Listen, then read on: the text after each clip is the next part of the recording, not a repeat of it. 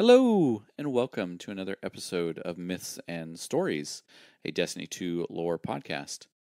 Today, we are finally going to cover this the I started to say season. I can't say that yet, Myth. Uh episode. Episode 1. Uh The Phantom Menace. No, wrong episode. uh The Echo Menace. Uh that's I'm calling it that now. Yeah. Uh, so yeah, so this is this is the first. So we've uh, at the time of this recording, we've hit what we believe to be the final story beat uh, for the first episode, the end of Act Three. Um, and that is, uh, does this one actually have a name? Myth? Is it just called Echoes? Yeah, it's episode echoes. Episode Echoes. Mhm. Echo, echo, echo. Not that type of echo. Well, I guess that kind of echo. Me- echoes of memory, right? Like, Yeah. so the the thing that brought on this this episode, uh, the thing that kind of started it off, was the end of the final shape. Uh, we had we went up against the witness. Uh, we we somehow by miracles uh, defeated the witness, and when he started to by killing all the the dissenters, but the, the individual uh, um, consciousnesses that made up the witness. When we when we did away with those, it kind of caused him to start breaking apart and kind of like dissipating. Uh, well, all that darkness energy has to go somewhere because just like in this physical realm that we exist in, energy can't be created or destroyed; it can only be transferred. So uh, that was represented on the very end of it, on the very the after the um, excision. Uh, I think it's called excision, right, Myth? I think so. Yeah. But yeah, the the post raid mission, the the twelve man activity. Uh, when you are sitting on your, we are sitting on like the the the edge of the helm, just kind of like just outside the the radius of like the aura that's emanating from the from the traveler, and these three little these three little lights kind of like pew and and go off in in, in different directions. Um, those are kind of the the the representation of the echoes that emanated out. Now, this brings about questions. What is an echo? How does it work? Are we afraid of it? Can we feed it? Can we keep it as a pet? Probably not. Don't do that. Uh, and what then is the um, again? I can't say season yet because it, it is still an episode, though we know they're going back to seasons. What is this thing about? So that's what we're going to do today. We're going to do the the the main story as best we can remember. What Myth and I looked, uh, and by Myth and I, I mean Myth, uh, looked, and we can't find like a summary of this thing for like rough notes. Uh, so we're going to be doing a lot of this off of memory of of like the events that happened throughout the season. Um, and we're just gonna we're just gonna kind of go roll with it, and we're gonna reflect off of of different story beats and stuff like that. Uh, so myth, uh, let's start it off. Yeah. Uh, not only can I also not find a summary anywhere, uh, I made the what is seemingly now mistake of taking all three of my characters through each of the acts as those acts were releasing, so I can't like go back and replay anything either. you fool! uh, but yeah, My hunter so- might be able to go back, but yeah, Yeah, so just you know, bear with us. There may be a, a couple details here and there that we miss uh, for some of the earlier acts, um, especially, but we'll do our best. Uh, act one starts off with one of these little little lights, little echoes, as we learn they are called, uh, hitting Nessus. Uh, and, and like hitting, hitting, like drill the hole through it.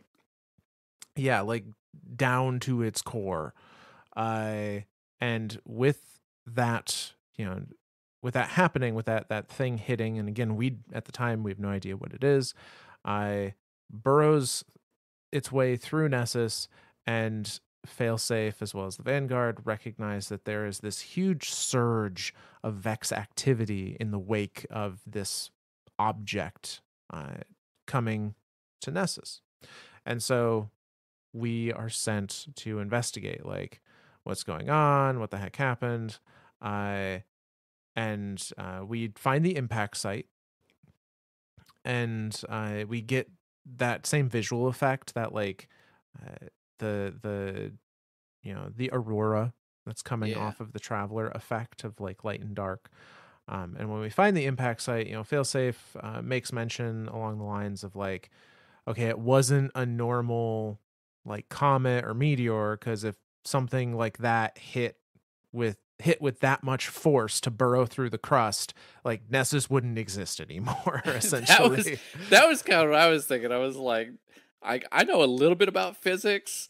If something that had had that much force, Nessus would have been completely obliterated. There would be nothing left. It would just be dust and particles. Yeah. So, uh, needless to say, this is a, a very anomalous uh, object, whatever it is, uh, and the Vex in the in the area around the crater are very riled up, uh, and we uh, fight them off, uh, and as we are fighting them, uh, there is mention.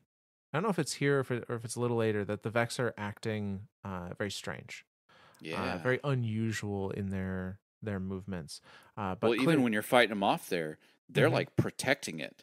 Yes, They start they start putting in they start building barriers that that vex structure that you see like the the the very squared off you know stuff. They start building barriers to prevent you to can to continue on, and so you're you're almost having to like you know hack their network uh by way of of course shooting them. Because they they they send in i mean they send in full full waves of stuff. They you've got minotaurs coming in. You got which we've talked about this in our vex episodes like the minotaurs the goblins the hobgoblins they're very much kind of like the protector units. And then the the hydras are like the mines. Like they're like kind of like the people in charge or the the thing in charge. And they send several hydras of like hey stop it. Like Yeah. quit messing with this stuff. This is protected. And we're like no no no no no. You're vex. You're bad. We got to get in here yeah. So it was it was really interesting to see this kind of immediate uh, protection, um, you know, protocol instinct from Yeah. the Vex. Uh, and you you notice that the Vex in this uh, that show up all have these like rings of light around their necks.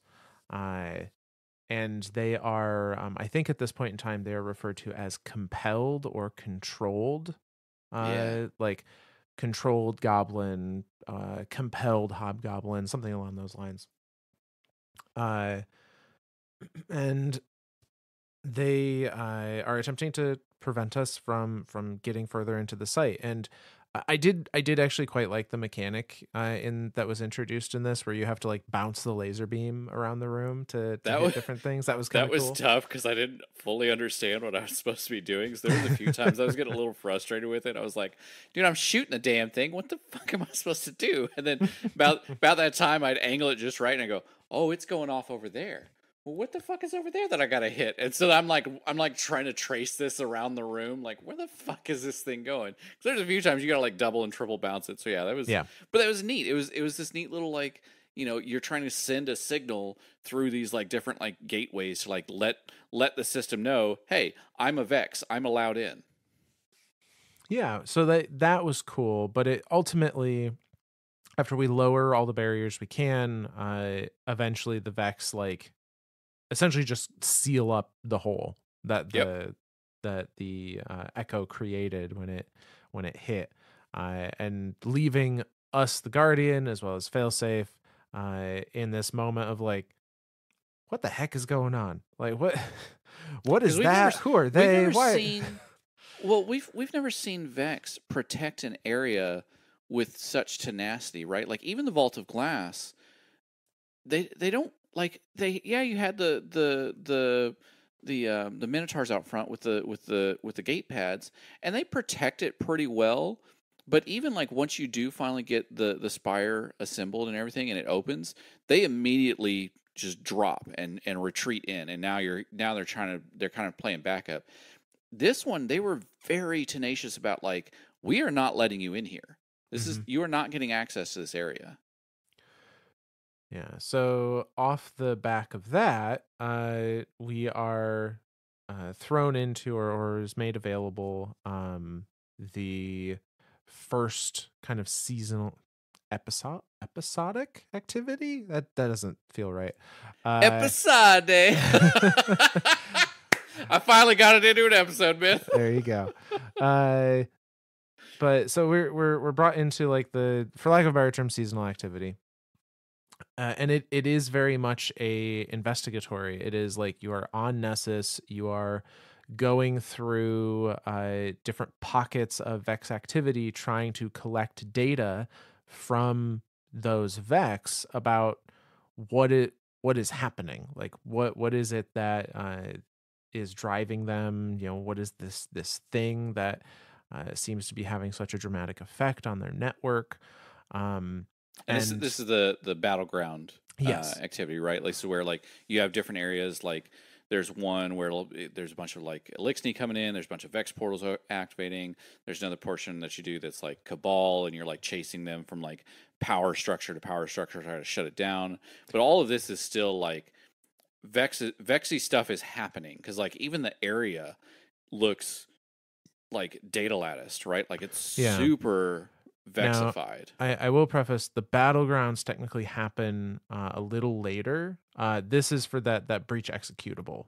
Uh, oh, activity, okay, okay, okay. I Where you're like going bouncing around to the Vex towers and you know uh, gathering the the data motes and dunking them That's and right. all that. That's right. That's right. Uh, and uh, it, to support our continued research into what is going on, uh, we did have this this kind of fun moment of uh, bringing failsafe. Uh, I we didn't necessarily like transport her per se, but we made a connection for her up to the helm. Uh, She she even states like that's a lot of space to try to take up, both Yeah. both physically and digitally. yeah. Uh, but she can now access the helm and interact with us there and interact with like the systems of the helm um, as to, to kind of be our uh, our point person for investigating what is going on. Uh, so all the data that we are gathering during breach executable is being transmitted to her to calculate to try and you know devise what uh, the Vex are attempting to do. Uh, as the result of the data we gather in breach executable, uh, that then brings us to the battleground. I Uh, gotcha.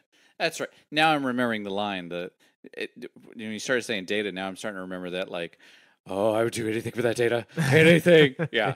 Yeah. Fail failsafe's a little uh, little little little uh.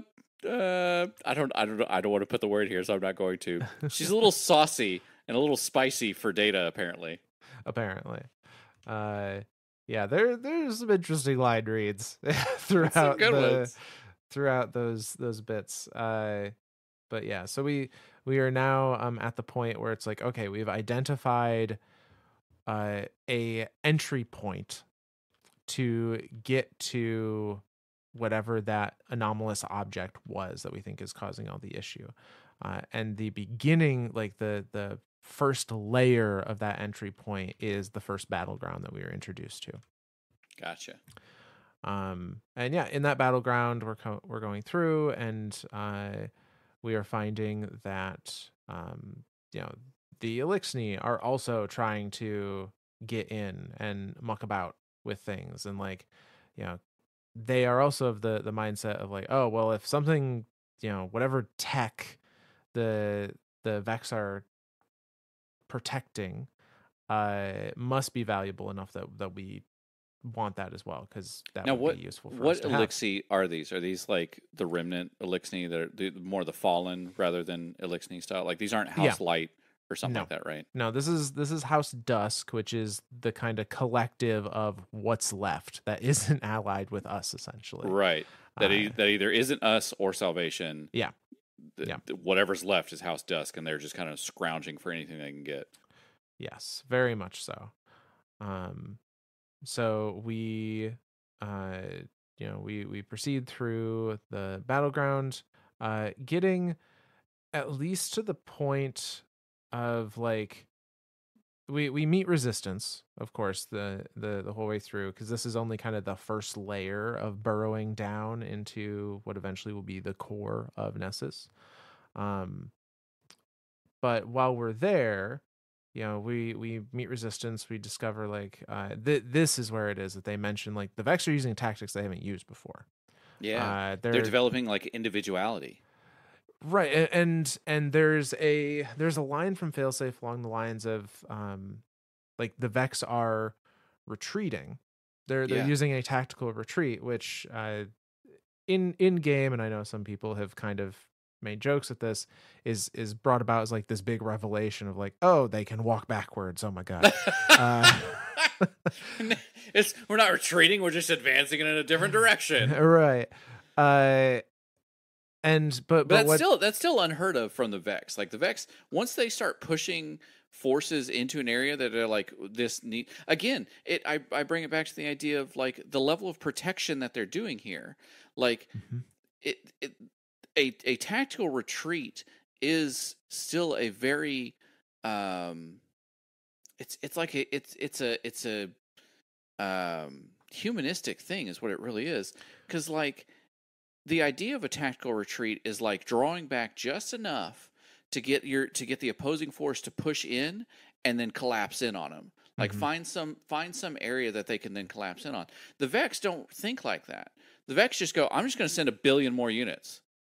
Like I, i'm just Yeah. going to overwhelm you with as many as i can send. Like i don't i'm just going to start warping shit in from the past the future the present. I don't care. I'm just going to start sending more shit. And the fact that they've done this the again the idea of a tactical retreat that means they're trying to prevent losses. Right like, that that means that a- there is there's a fear of loss there's a fear of loss and there's a value placed on an individual vex unit. So this is this is different. This is again that's that individuality that's starting to, to show itself there of like the vex aren't aren't acting like vex. They're acting like people. Like this is a true evolution of, of what's happening with the vex which again any anything that that involves the vex that involves any type of evolution is a bad thing. Like again the vex as a whole are bad but they're a contained bad right now or at least up until Right. this point. They've they've been a thing like okay they're there we can contain them we can kind of keep them occupied like we will figure something out eventually. This is now a whole new level of like and even osiris throughout this whole thing is like i've never seen this before. I don't know how to combat this. I don't know what's happening yeah so far beyond the realm of what they have seen the vex do before and, and by because by nature of the vex you know having like the sole purpose that they have had for for the most part that has exist that has made them very dangerous absolutely uh dangerous more by their all-encompassing numbers and Yeah. uh, endless persistence more than anything uh, but it has also made them to a certain degree predictable like you Right. the, there's there's an understanding of what their motivations are and therefore what they what their likely response will be to a event. And now that that predictability has been removed there's there's this this feeling of like we don't necessarily know how they're going to respond anymore. Right. uh, like we need to rethink our engagements with them altogether. Yep uh, and it is off the back of that battleground that uh, we are then uh, given access to another uh, new activity by the name of Enigma Protocol. Uh, and this is the one where we are actually infiltrating into the network, uh, similar to how we did in Season of the Splicer, in a way. Uh, we're in that same like cyberspace area. Um, and here we are uh, going through the the Vex network to obtain information about like okay what in this network is causing them to to make these changes in this way? Uh, and during your time here there are a few places where uh, there are a few like safety rooms uh, and those safety rooms have these pillars of data in uh, the corners of the room. Uh, and if you go up and i it was very confusing how it was presented So I yeah I definitely understand people maybe just not even realizing this was a thing. Uh, but if you walked up to those pillars, you would have the opportunity to interact with one. And then if you weren't like really paying attention to things on your screen, it seemed like nothing happened. And then like 10 seconds later, you could interact with another one and rinse and repeat. Uh, but what was happening during those, you know, 10 seconds or so in between was in the upper left of your HUD uh, above the timer that was running because Enigma protocol was timed. There were uh, little transmission messages that were coming through uh, as text only uh, that were uh, essentially queries that were being asked to the Vex network. Uh, you know, and it was a, a case of like querying events that had happened from essentially the golden age to now was kind of Yep. the the take I got on it. Yep. And in, in in these rooms too, like all over the room, there are little bubbles. And yes. every bubble has something in it. Like it's it's there's a shit ton of stuff in there. Like there's paintings, there's lamps, there's desks, there's you know bird cages. There, there's just there's shit everywhere, and it's it's a really kind of disorienting area because Mhm. again, this is inside the network. This is we're literally like like while you're in um um. God, I've already forgotten the name of it. Enigma, Enigma Protocol. Yep. Enigma protocol. Enig- Enigma Proto Enigma Protocol. That's a hard set of words. uh, while you're in there, you are literally like zeros and ones. Like you're in the network. You are uh, like you know you're you're you're physically represented there like because video game. But for all intents and purposes, you you've troned up. Like you're you're running around Tron style in their in their network, just like what Myth was saying back in season of the Splicer when we used to hack it and, and traverse the Vex network there. So to see um, physical representations of stuff that exist in the world, like fully shown off here, is off putting. Because again, Vex doesn't care about that shit. Yeah. A, a, a Vex doesn't care that that's a desk. It doesn't care that that's a lamp. It doesn't care that that's a bird. It just says that's not Vex. It needs to be Vex. Turn it into Vex. That's it. That's the entirety, the entire thought process of, a, of an individual Vex. Make that Vex. Not not oh, identify this as chair. Oh, this is used to sit on. Cool. That's neat. Can I make it a Vex? Sure, let's make it a Vex. No, it is is it's a full on single thought. Is that Vex? Yes, no. Change it to Vex. Full stop. So again, to see that here and then to see those queries coming through, it was an odd another odd thing to be like, well, who's querying the the Vex network? Like the only Yeah. people that have really kind of have that knowledge is like Mithrax and us and previously Asher, but obviously back, you know, way back uh, um, when Asher was was became one with the network.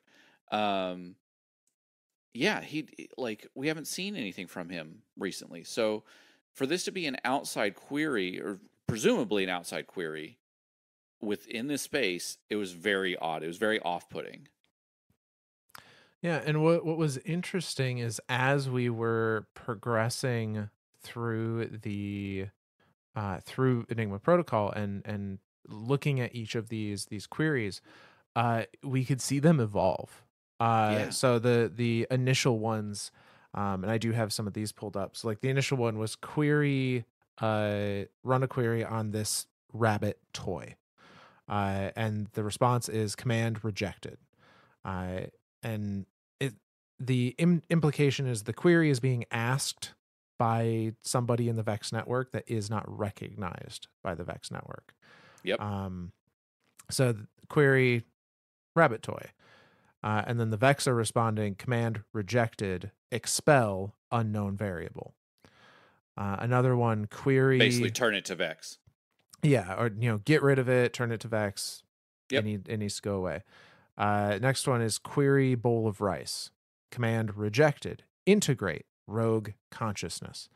So rogue. That was one of the first one that was a weird one to me. so rogue consciousness. I think the the first attempt is them like get rid of this unknown variable, delete it. Yep.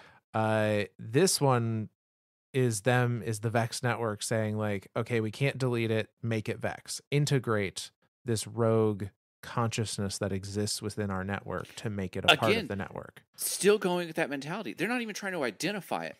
No. They they are just like, is it Vex? Yes. Go okay, continue about business. Is it Vex? No. Delete it. can't be deleted, turn it into Vex. They're still following a very basic structure here. Yeah. Uh, and the the next uh, command is run a query on this wine. Command rejected.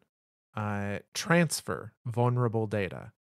So it looks like the Vex are either trying to like transfer this rogue data away, or the Vex are saying like, "Oh, it's getting more access than we want. Try and like lock that down or transfer that that access point away so it can't get to it." Sure. Um, and I we get a couple of dialogues from Osiris uh, at the end of the mission, uh, who comments like the Vex are amassing Golden Age tech. They're decrypting, analyzing, and liquidating it. Um, and says like some of these are just simple objects. Like there's no strategic value to these, only sentimental value. I which he finds odd, understandably so. I and then he continues on that like uh Ikora pops in and references, you know, this can't be an attack by a collective. Like this this can't be the Vex collective doing this. Uh and Failsafe uh, agrees that this is the effort of an individual trying to find something out. And so Osiris poses the question of, well, who infiltrated this then? Exactly. Because again, the Uh, only people that we know that have the knowledge to do this are Mithrax and us. Yes. Uh, and it is, uh, we get a couple other commands here as we go through. Um, at the very end, so there's those two rooms. The first room is the pillars where it's constantly like reject command, reject command, reject command. Uh, and now in the second room, similar queries are being made query sunflower, query sunrise, query art. And now we're seeing command accepted, command accepted, command accepted. Uh, so we're seeing an evolution here of like this this rogue being trying to get access to data and being rejected and now stuff has changed to the point where their commands are being accepted instead Sim- similar to what we saw uh, when Asher was doing it, right? Yeah. Where he's like, he's he's literally like reprogramming. He's uh, like the first line or something was like, you know, stop integration. Uh, you, we, me, yes, yes, yes, all this. Make make access point scribe or, or what does he say? What do you? I think he starts off with like scribe or something like like no, make it Asher or something like he he, he like he elevates his own status for himself. Yeah. I'm like, of course you would, you little shit.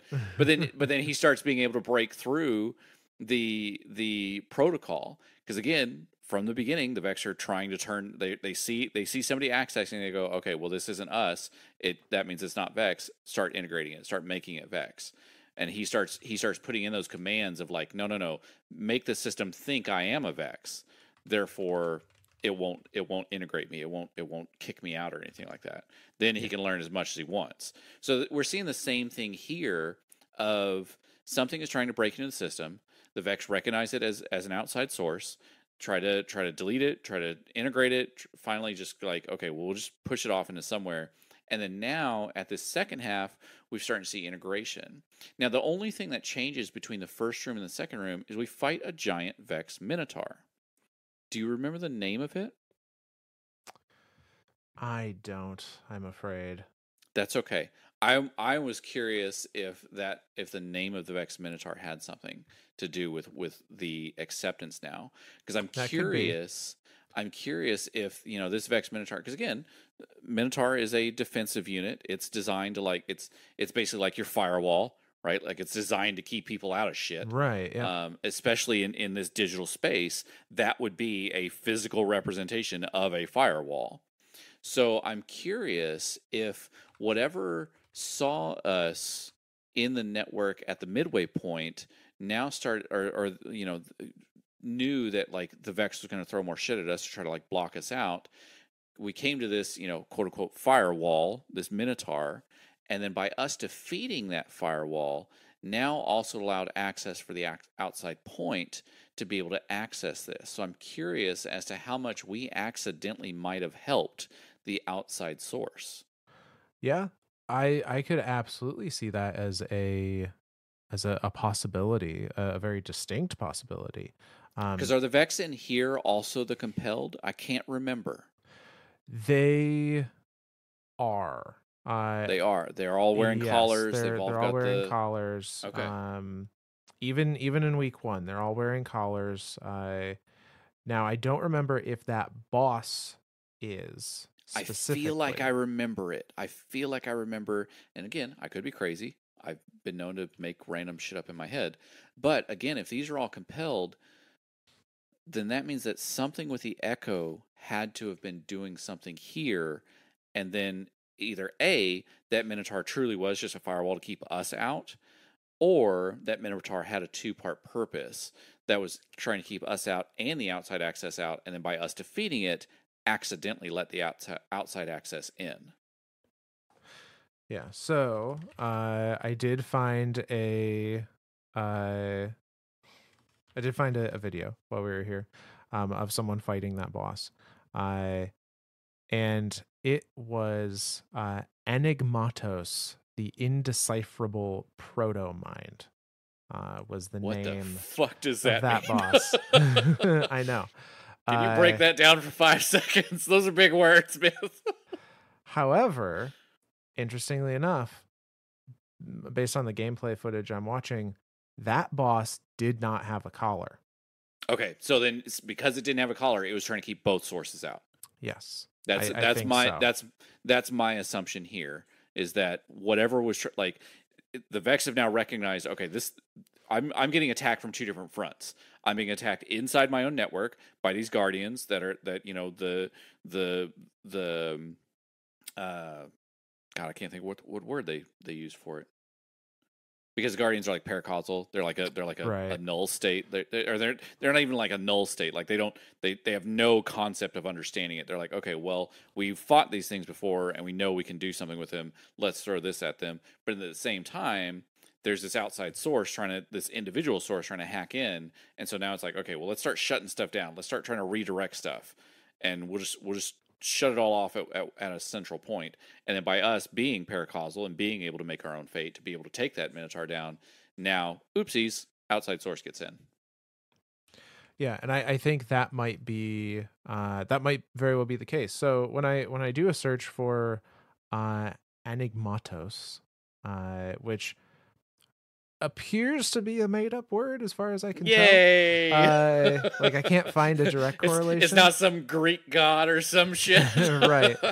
Uh, however, this was the Greek god of data data collection and data data loss prevention. That didn't exist back then, buddy. You're making shit up now. yeah. However, uh, enigma, uh, enigmatos is a is a word, and considering this is Enigma protocol, um, Enigmatos is uh, the translation of complex data into clear patterns and trends. So, okay. spitball in here, spin foil hat. This could be the the Vex were running the Enigma protocol to try and understand what this outside consciousness was, so they could defend themselves against it.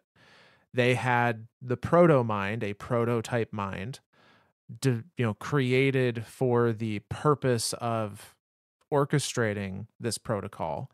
Sure. and the protocol itself was slowly being taken over by you know the echo of control by those collars. And the boss this proto mind was like the the was that final stand uh was the one leading the efforts of the vex trying to understand and eventually get rid of this threat and we remove that barrier. Yeah. I like it.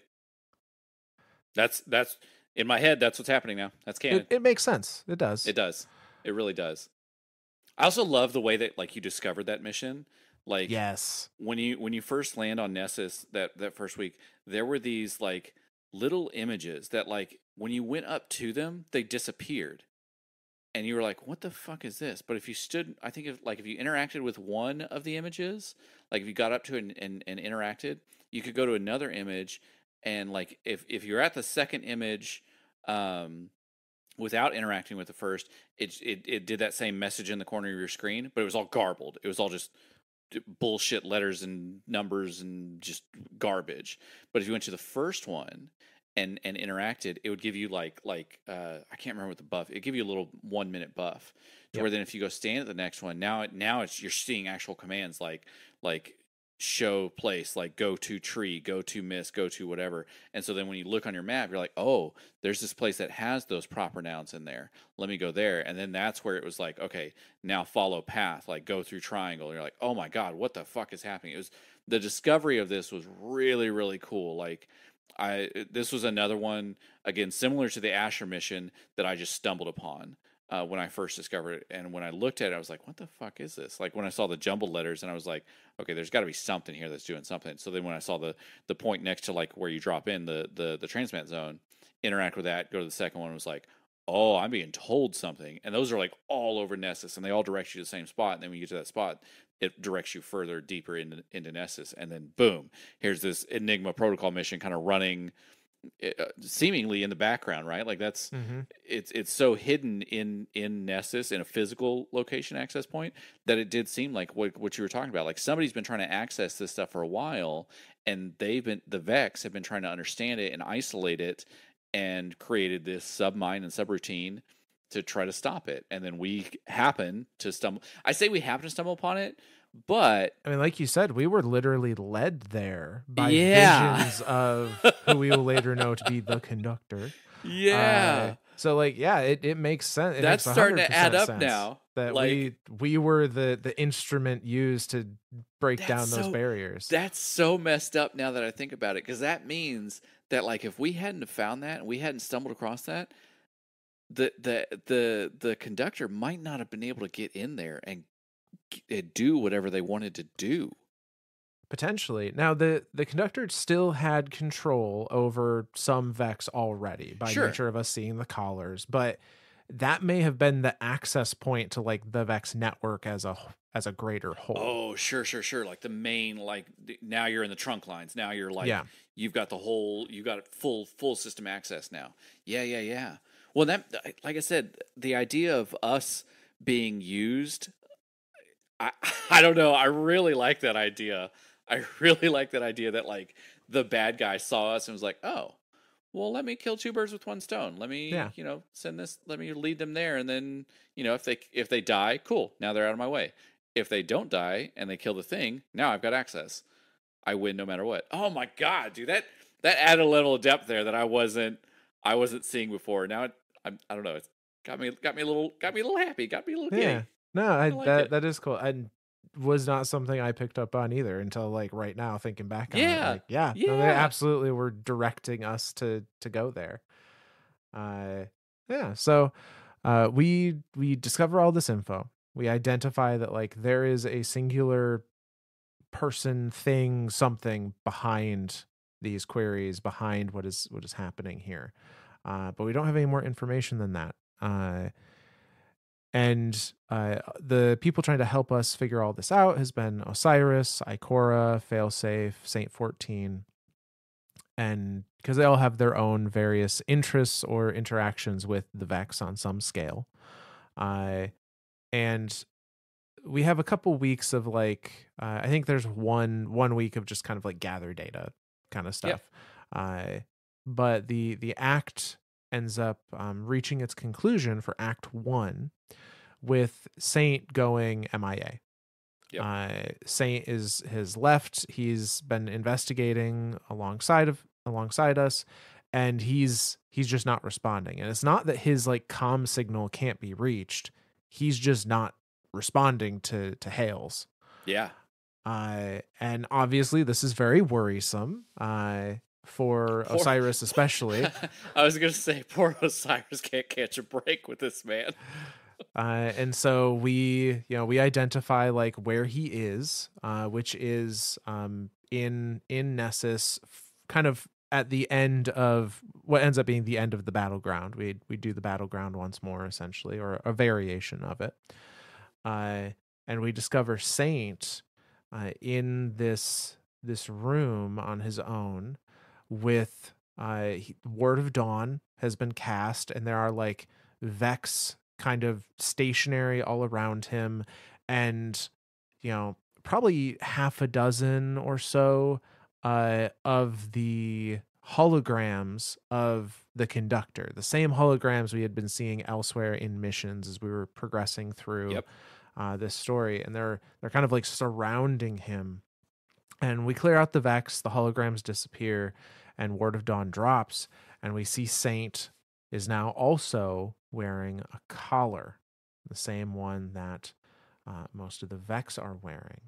Um, and he's kind of like muttering to himself uh, while you know while we are observing this, and Ikora transmats in as well. Um, and Saint is saying things like, uh, "The real Saint is dead. I'm just an imitation." I and I, you know, Ikora is is trying to get through to him. Like, Saint, can can you hear me? Like, are you there? And he he's not seeing us, ignoring us. He's like, I'm not a person. I'm just a copy, a copy of a copy of a copy. Uh, and to add some context for anyone that wasn't around for us saving Saint uh, and and don't necessarily know his full story, uh, a we have an episode on uh, Yeah. a series on Osiris and Saint where we explain some of that. But the the long and short of it is um, Saint 14 entered the infinite forest in search of Osiris and died.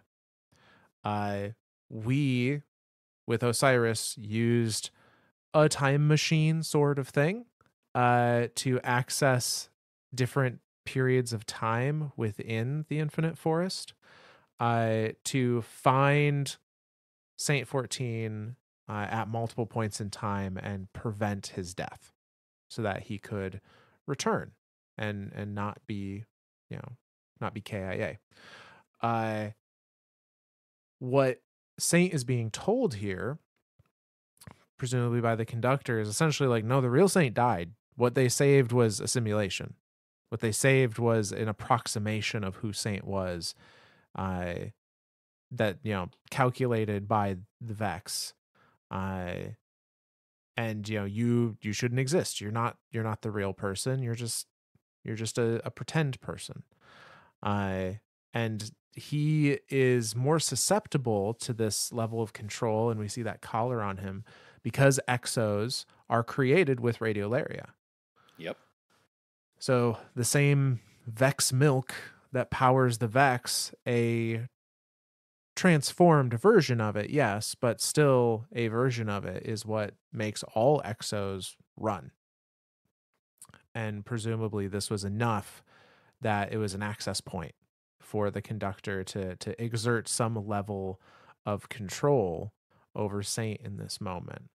Uh and he continues to to kind of talk to himself and says like a new golden age is coming free from falsities like me uh, and ikora eventually you know tells him like come on big guy osiris is waiting for you uh, and that's that's kind of that that phrase that uh, snaps him out of the control collar but his head has still very much been messed with Oh yeah. and I we you know he's out of the control collar. He transmats out, uh, and we re we you know reconvene, uh, on the helm with Saint and Ikora and Osiris now, uh, and they're they're asking Saint like what happened, like what, you know, what what was going on, um, and Saint goes on to explain, and I think this is the first time we hear the name the conductor. Yep. Uh, but he he essentially tells them that um you know the the the vex the mind the conductor that interfaced with him i spoke with a voice which is not something vex have done before uh, and he was he wasn't able to resist the commands that it gave again radiolaria in in an exo um he said uh it connected to my mind and it called itself the conductor. Uh, it didn't care about our plans. Uh, so it, it telling us that the conductor isn't necessarily like isn't trying to interfere with our operations do, doesn't care doesn't care yeah. about everything that has happened up till this point uh, they have their own motivations um, and he goes on to say that you know this conductor measured saint's humanity measured his legitimacy uh, and decided that he was not the real saint uh, that he was not the the true quote unquote saint um, and saint goes on to say like uh, the conductor said that uh, the real saint 14 was not meant to live uh, that and speaking to osiris that like the saint 14 that stands in front of you that you love is nothing more than a forgery. Uh, very very like existential crisis uh, oh, going on. it like like it shut him down like that if if i'm remembering correctly that was like the end of the of the first act story beat like yeah. he he just like he's like i need to be alone like please just leave me alone for a while like he really gets shut down by this and he and saint sees it a lot too or, or osiris sees it and then osiris is like i i know how he is he's going to be this way for a while like we like I want to help, but I know I've got to leave him be. I've got to let him think it through and stuff. Like everyone is genuinely worried for him. Like it's it's a it it it was kind of freaky, honestly. Like it it's to be told that you're like you're not real. Like yeah, ha, like and and and to be to be so believable to be told that you're not real. Like yeah, that that fucked with him. No, it it it was it was a really so I thought that Act One, you know, people had their own opinions about the pacing uh, of the the acts in general throughout the episode, but Act One coming off of it, I I was really like kind of I, I was very interested to see like okay where is this going? Yeah. Like th- this we had kind of dark real quick. Yeah like the we we started with like hey random things on nessus uh and that evolved into like vex are acting weird. Vexing or vex are having ideas that seem to point at some level of like individual value uh and then got into you know this this existential realm of you know are you real? Is any of this real? Are we all just a simulate? Like, you know, the this this level of uh of questioning um that ha- we had skirted before with some of the Vex storyline stuff and like especially with uh you know the Ishtar um you know Maya and her group and the like 200 and 225 copies something like that 227 copies that were you know were just simulations that flooded through the Vex network. Uh, like we had touched on some of that, but to see it enacted in such a personal aspect and uh, for it to have a, a a effect on a like relationship like this um was it just it, it brought it about in a different on a different level yeah so, but yeah, that that is the the ending of Act One. Is essentially like there's a Doom conductor out there. Yeah, there, there's a conductor out there that is you know the the one responsible for all of this, and they've really fucked with Saint's head, and now Saint doesn't which know is, if he's real. which is which is truly crazy. Again, emotionally, it's truly crazy because you're talking about coming off of the final shape, right? Like humanity is saved and not, not the universe is saved right like we defeated the witness like thank god we can now breathe for a second and now we're starting to have like attacks on individuals of like you know now we're starting to create dissension within not not dissension we're starting to create uh, uh ex- existential crisis and and kind of like you know people shutting down mentally um with with with you know with with Saint. um, to now, like everyone's starting to be like, well, this Echo's got to be something bad then. Like it's like whatever it is, it's definitely bad. Yeah. And uh, and we we at least have a name now. We have a, a the conductor, Yep. which is again still going off of that that darkness stuff, right? Like the that chorus conductor thing, and we've heard that several times throughout Destiny. Um, obviously with the witness, like that's a prime source, uh, but also on Neomuna Mm-hmm. with uh, a certain group of Golden Age collapse survivors. The Yeah. Maya Sundaresh's team of herself, uh, Chioma Esi, uh, and the other people that we can't ever remember their names because they never mention again. I, I feel bad because I I know that there were like five, and I can't ever remember the other three. So yeah. definitely the ones in the forefront are always Maya and Chioma. And Chioma, yep. Yeah. Um yeah, so we we've seen this conductor and chorus kind of idea before, uh tied to the veil, tied to Maya, uh tied to the witness prior. And so like it get it at this point in the the story, I feel like there's more than a few people that were going like okay, th- there's a Maya connection here. Either Yeah. Maya i- is the conductor or she she's related in some way. Uh, and that seemed pretty I, I would say obvious at this point. Um, that like this this would make sense for her to be involved. So we enter Act Two uh, with a cutscene. Uh, it is a cutscene that I found on one level to be really really cool. Uh, like the cutscene itself was was very well made and and uh, visually was was really cool. Uh, Was this the one where it shifts from like a static image to a static, not not not a static, but a static 3D thing? It was an Yeah, it's- actual like. it's like you're uh this is the one where it's like um it's showing uh like statues Yeah, yeah, of yeah, people and then kind of zooming around and Yeah. Yep. it shows the hologram of the echo actually entering nessus uh and whatnot my my only gripe with this cutscene which is the same gripe that i think a lot of people in the community had at the time is we are given information in this cutscene that is used throughout the rest of the story without any justification for how we know that now. Uh, Oh.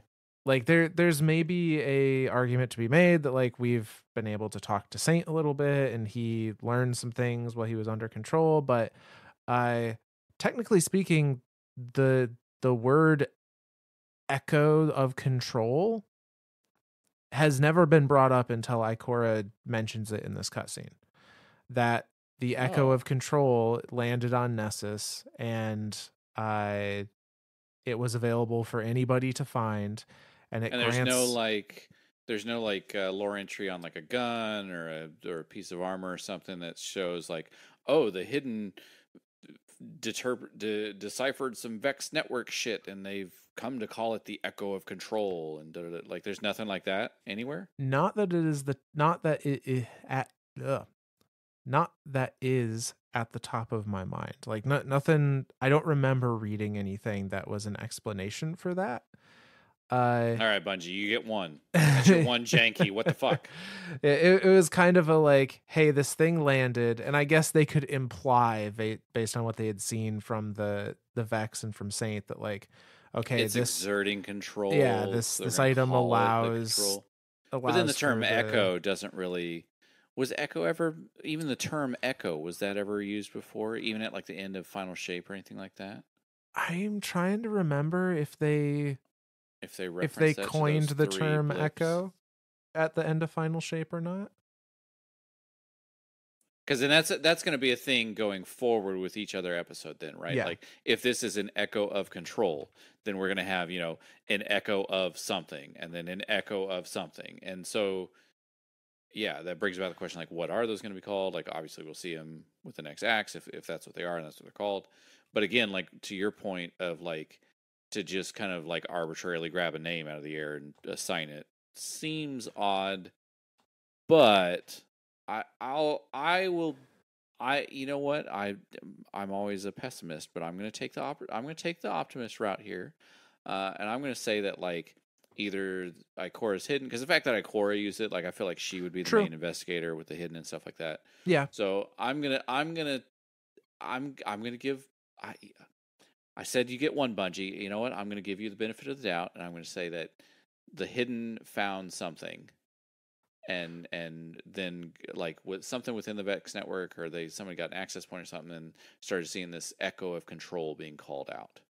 Uh, so yeah, so you you get you get one Bungie, and I'm I'm gonna give you this one, but you got to come up with a better reasoning next time. yeah, I Can't just grab I a name out of thin air. I would have liked to see some in-game explanation as to how I mean how they decided on the name, sure, but also how they knew. I think the big thing for me was uh, Ikora is explaining in that cutscene that like this uh, echo is a uh, is a, a piece of the witness's victims is the memories of the witness's victims made into like a manifest object and that that just How do how do they know that? right like i i would love to see how that conclusion came about and maybe it is as simple as like you know the the hidden or you know this is theoretical but we believe that this is most likely what has happened yeah just something not not just Something. like this is info we now know because reasons Now Uh, reference that info for the rest of the episode. Right. Well, you know, minor gripe, but it was one that that kind of made me like kind of made me think I'm I missed something somewhere. Yeah, same. Don't worry, we nobody missed anything. We're all just as confused as you guys are. Yeah. Bungie do Uh, better. So the um you know, we're we're introduced to this idea now that we have a name, the conductor. We have a like a person now to point our uh our aggressions at, I suppose. Yeah. Shoot it. Heal it with bullets. That's how everything works in Destiny. for the most Everything in. Destiny is solved. I mean, we we saved freaking two of the two of the taken. No, all three of the taken Techeuns with bullets. yes, by healing Please don't kill bullets. my sisters. Save them with bullets. uh but yeah so we we get in now into act two of the story uh and here we um are diving into another battleground. This is kind of layer number two. We're we're beyond the surface and now like burrowing between you know the crust and the mantle to get to the core of uh of nessus. Uh and this is where we truly kind of meet and uh, defeat the House of Dusk uh, operatives that are are attempting to recover uh, the Echo or you know anything they can use uh, as as weaponry. I and we are fighting. Uh, one of the bosses here is Calix, the Baron of House of Dusk. Uh, so that tells us for sure this is House Dusk. But it is interesting that House Dusk has kind of gotten its shit together enough to Yeah. start to form a traditional Eliksni hierarchy. Yeah, Uh, we've got a Baron, which Yeah. means I'm assuming we've got like an Archon and like I Yeah. would think so. Yeah. what the hell's going on here? So- does that mean we have a Kel? Like right. has House Dusk organized out like kind of out of nowhere and just been like, oh, yep, we're back. I mean, granted, we've left them alone for a while at this point. Like That's true. know, outside of the the few cases where we cross paths, uh, and we don't necessarily know that how you know this isn't to say House Dusk is you know has this this huge population increase or anything. It's just they're starting to organize now. Uh, Yep. in in a more in more ways than just survive. Yep. Uh, and so we we fight off uh, this Baron, and uh, immediately after the um, Baron is is fought off, or not immediately after, but we we progress through because that's kind of like the halfway point boss of that battleground. Um, and we progress through to fight off uh, another um, giant minotaur at the very end. Uh, and this minotaur is uh, Chimerian, the radial overseer, uh, is their boss, uh, boss name. We got some Uh, fancy names going on here. I know. Uh, and Camarian apparently, uh, generally speaking, is a uh, name that translates into fortune, health, spirituality, um, idealistic. Is kind of the the general takeaways from Not from not that. chim- not Chimeran is like multi-headed thing, like No, not chimera. Uh, making- Gotcha, gotcha, gotcha. gotcha. Camarian. Camarian. Okay. Yeah. Gotcha. So slight, slightly different. Um, but what is interesting about that name, uh, that name being like fortune, prosperity, all that stuff. You know who else's name is uh, a name of a goddess of fortune and prosperity? Medusa. No. Lakshmi. oh shit. shit. That's that, that's Hindu, right? Or is that Yep. Yep. yeah? Uh, Son Lakshmi of a bitch. is the Hindu I never goddess. put two and two together there. Oh my Uh, god. So this is yet another hint that like, yeah, Yeah. Maya's involved. Maya's involved. like spoilers. Again, Uh, another one that's that's revealed through the through the veil containment um, uh, bits that were post uh, Lightfall. Uh, Maya created Lakshmi as like a duplicate of her um, to have somebody to like help her integrate the the veil into the CloudArk and and upload everyone there and save everyone. Um, and then at some point in time, Maya disappears. Uh, presume I, I want to say Chioma found her dead or something in the chair Yes. and Yeah. then like Lakshmi was the only thing left, and so they like they essentially snatched her up and like dumped her like one of the cloud stars just dumped her off on on Earth and was like that's not our problem anymore. Yep. Like get rid of this. Um, but then still followed through and made the CloudArk. Like what? To be fair, I don't know that here? Chioma was around by the time I think Chioma might have been dead arc. there too. Yeah, yeah, yeah. because that Yep. that that was like many generations of Cloud Striders later. Yep.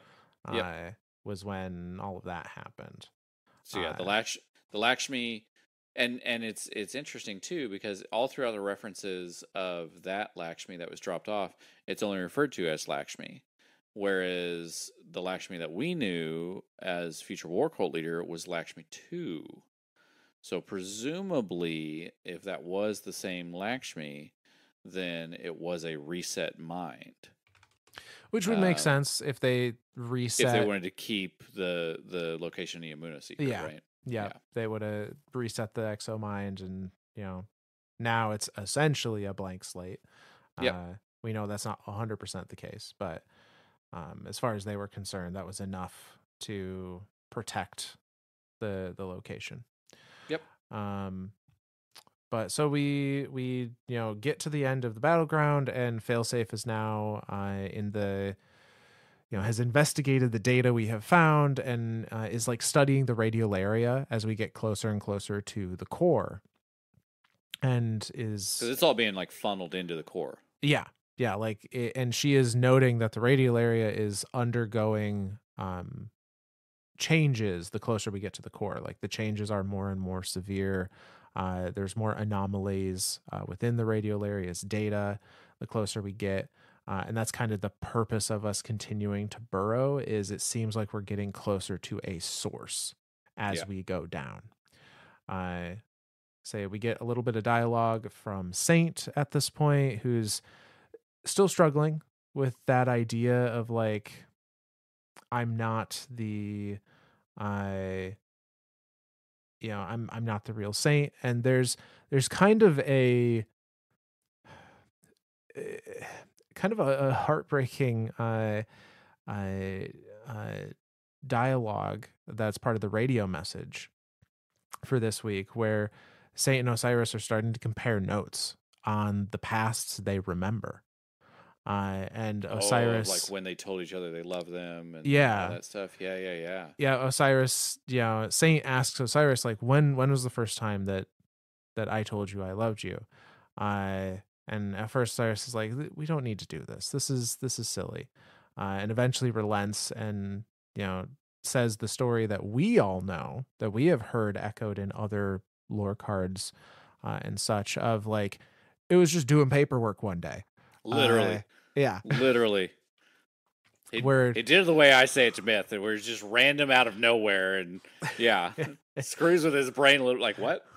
Like Yeah, he go, was- like yeah, take that. Now let's go back to work. And the, the saint's just like, uh, or or Cyrus is just like, uh, what? yeah, so you know this moment of like handing a report and being like, by the way, I love you, and then yeah, having Just to walks off. Just continues about the day. Uh, and so Osiris tells that rendition. And what's interesting here is that that is not how Saint remembers it. Uh, when Saint retells his rendition, it was uh, overlooking the the city. Uh, they were in a completely different place. They were like on a balcony overlooking the city. Uh, I think it was sunset or something along those lines. Um, and you know, Saint they as they were there in, in that setting, Saint said, you know, I love you. And Osiris responded in kind immediately. Uh, whereas the Osiris that we know, uh, like it took him some time to to yeah. uh, vocalize that reciprocation. I So even there, we're starting to see that like there may be some truth to this idea that this saint is is not you know the real saint, quote Yeah. unquote. That there there's something something is going on here. Yeah, and and we have this moment of Saint starts to refer to, uh, starts to to refer to as like his Osiris, or Yeah. telling Osiris like your Saint fourteen did this, and my Osiris did this, and starting to build like a a distinction between between themselves, like a almost like building a wall there, a separation. Yep. I and Osiris is is kind of of that like it, it doesn't the fine details don't matter like what we feel for each other now like this is this is real this is a you know eh, who matter who cares how we got here uh and saint saint's struggling quite a bit with with that you know i'm feeling like the the imposter syndrome the Yeah. the feeling of like uh, i'm Bungie Bungie's trying to take away my one. Like I get I get one, and Bungie's like, nope, Jk, buddy. Sons of bitches. you still got Eris and Drifter. That's Uh, true. That's true. That's true. I got one. They if that gets fucked up next season, I'm just gonna shoot. Sorry, episode. I'm just gonna be pissed.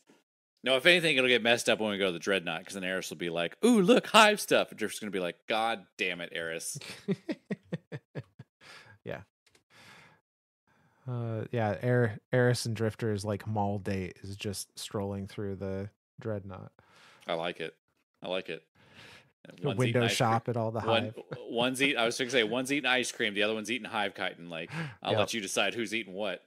it could go either way with those two. It could literally go either way. There have been dialogues where Drifter's like, "You ever cut open a da da da and eat blah blah blah?" Like, what the fuck is wrong with you? yeah. Uh, Eris's just like, "It's it's just him. It's not you. This is a Tuesday. Just deal with it." So, uh, needless to say, um, at the end of the last battleground, uh, it's implied that uh, um, Failsafe has had the ability to inject like nanobots into the radiolaria um, and follow the stream, essentially, like tracking. follow where the radial Yep. area is going and start tracking it to its source. Uh, and so we, um, within I think it's the next week, maybe two weeks, we get access to the uh, final battleground, um, which is that third layer that takes us all the way down to the core itself. Uh, and the speculation is that if we find where all this radiolaria is going, it's we're going to find where the conductor is as well. Uh, and so we progress down there. We fight um, Antioptes, Hypogene Sentinel, Sentinel, which like these yeah. names, Okay. these names. You just vomit letters on the screen. Come on. Uh, yeah, though, like though the Hap- Hapanoptera, like that, that's a that's the lost city of, of Egypt. Is uh the only reason why I even have any type of rights for that is because of the movie The Mummy. Um, like that was that was like the the main city that where like everyone was amazed. Like you found Hapanoptera, like I and I'm probably pronouncing it wrong too. I'm sorry. Um, but yeah, they're like that was where like the Book of the Dead was supposed to be at, or the the Book of Life, or whatever. Like all that was supposed to be there. So yeah, like it, I I kind of see like where they're pulling stuff from, but come on. Yeah, well, and so uh Antioptes appeared. I can't find any correlation to that, so that that's just a made That's- up. It's just a Made-up thing. up thing. Yeah. Um, hypogene, however, means like underground. So the the underground Oh, okay. sentinel makes Sure. sense. Um, but they are uh, they are this big cyclops that we're fighting through, and it it is very um similar to the cyclops that we fight in Curse of Osiris. Yeah. Uh, but by nature of this this sentinel, that what was? I think it was. I think it was Dendron. Yeah, I believe so. Um, so like we've we gathered some info from the central, but we're still not quite able to access the like the very core. Yeah. Um, and we so we we enter this this little round of you know need more data, need more data. We can't. Uh, you know we we haven't been able to to to break through that final barrier essentially uh, and so there is a plan that is devised to to finally like get us access to uh how do we how do we defeat this barrier and the plan is if the saint we have now is a simulation is a copy of our original saint then our original saint's body is still in the infinite forest somewhere, still in the Vex network. And he spent so much time there within the Vex that if we were to find him and integrate his memories into our saint, that that will reveal enough information that we'll be able to ac- get access to where the conductor is. yeah. Seems plausible. And uh, we have this uh, mission where essentially we are breaking in. Like we found another access point to the Infinite Forest through the the Vex network. Um, that is not uh, the uh, Mercury. Um, since that's not around anymore. Right. Uh, Can't just go knock on the door, right? Can't can't go knock on the front door. Got to find back doors. Yeah. uh, and so we find the the uh, access to that, and we are able to locate that tomb of Saint Fourteen, uh, and Osiris. I still love that space. Oh, it's- like the number it's of like beautiful. Vex bodies that are Like- piled. Like you're literally standing on mounds of Vex bodies. Like yeah, it, Saint did a number. Saint Saint fucked with the Vex enough to where they were just like, okay, this is we got to stop this. it is environmental storytelling uh, in spades. It is wonderful. Yeah. I I love the way they designed that space. Um, but so Osiris and uh, Saint Fourteen transmat in to the tomb once we have discovered it, and there's a lot of trepidation on Osiris's part of like we don't know what's going to happen to your mind when you meld Yeah. with these memories. Um, and you know, like, well, we we gotta, we're just gonna find out. Essentially, we're gonna get we're gonna get exo billboarding is what the fuck we're gonna have. I think that was a worry. Yeah, it was like, that was a genuine genuine fear there. I think. I. But so regardless, Saint, you know, downloads, integrates, whatever weirdness happens between exos in this in this circumstance. Uh he lives the life of that other saint and has all of those memories kind of merge with his own. Um and thankfully what that does rather than like further uh, mess with his head is it it brings him to actually a, a point of clarity. It brings him to a point of like, okay, this saint had a different life than I did. He he experienced different things, but the feelings he had and the motivations he had were still the same. Like Yeah. I I am still Saint 14. I still want the same things that this saint wanted that every saint wants. You know, I still have a deep connection to wanting to protect the city. I still have a deep, you know, love for Osiris. Like I, you know, any version of me It's kind of like a is still me. yeah. Yeah, just kind of like a confirming of of like individual drives and motives and stuff like Yeah. that. Um, and in addition to that, he also, via these memories, uh, learns the coordinates that will lead us to the uh, the core of the Vex network uh, and the conductor within. Yeah. Uh, and so we uh, now do a a mission uh, that is um, us like transmitting through from that uh, from that space from that tomb like back into the Vex network uh, to follow those coordinates to where the conductor can be found. Uh, we fight off a boss uh, on our way there. That is the archival mind, um, which makes sense. Like we we accessed the Vex's archival data essentially to find that that original body of Saint Fourteen. Uh, and after fighting off that boss, we are able to use the Vex gates to arrive at Ness's uh, Nessus's planetary core. Uh, Necessuses? Ness Nessize? Nessusai. Nessimuses. yeah. Whatever. right. Yeah. Uh and I this space is really wild. Uh is It's so different. is really cool. It There, there's basically a mini planet. Down there. yeah, like it's it's very lush. There's lots of like green vegetation.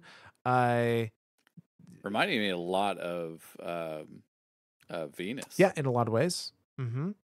Uh and it it technically has a ceiling, but the ceiling is so high that there's almost like its own skybox before you reach it. yeah, I like it, it does it feels like you've stepped into a planet inside a planet, which is is really cool. Yeah.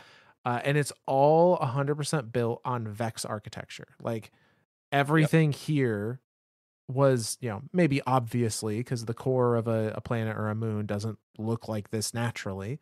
Um, but it was entirely Oh, sculpted by the Vex. Yeah, that's reminding me of the God. I can't even remember what movie it was. All I can remember is the line, "Can I cook or can I cook?" And I think it's Sigourney Weaver. And sh- there's she was like, you know, the the the such and such happened overnight or something.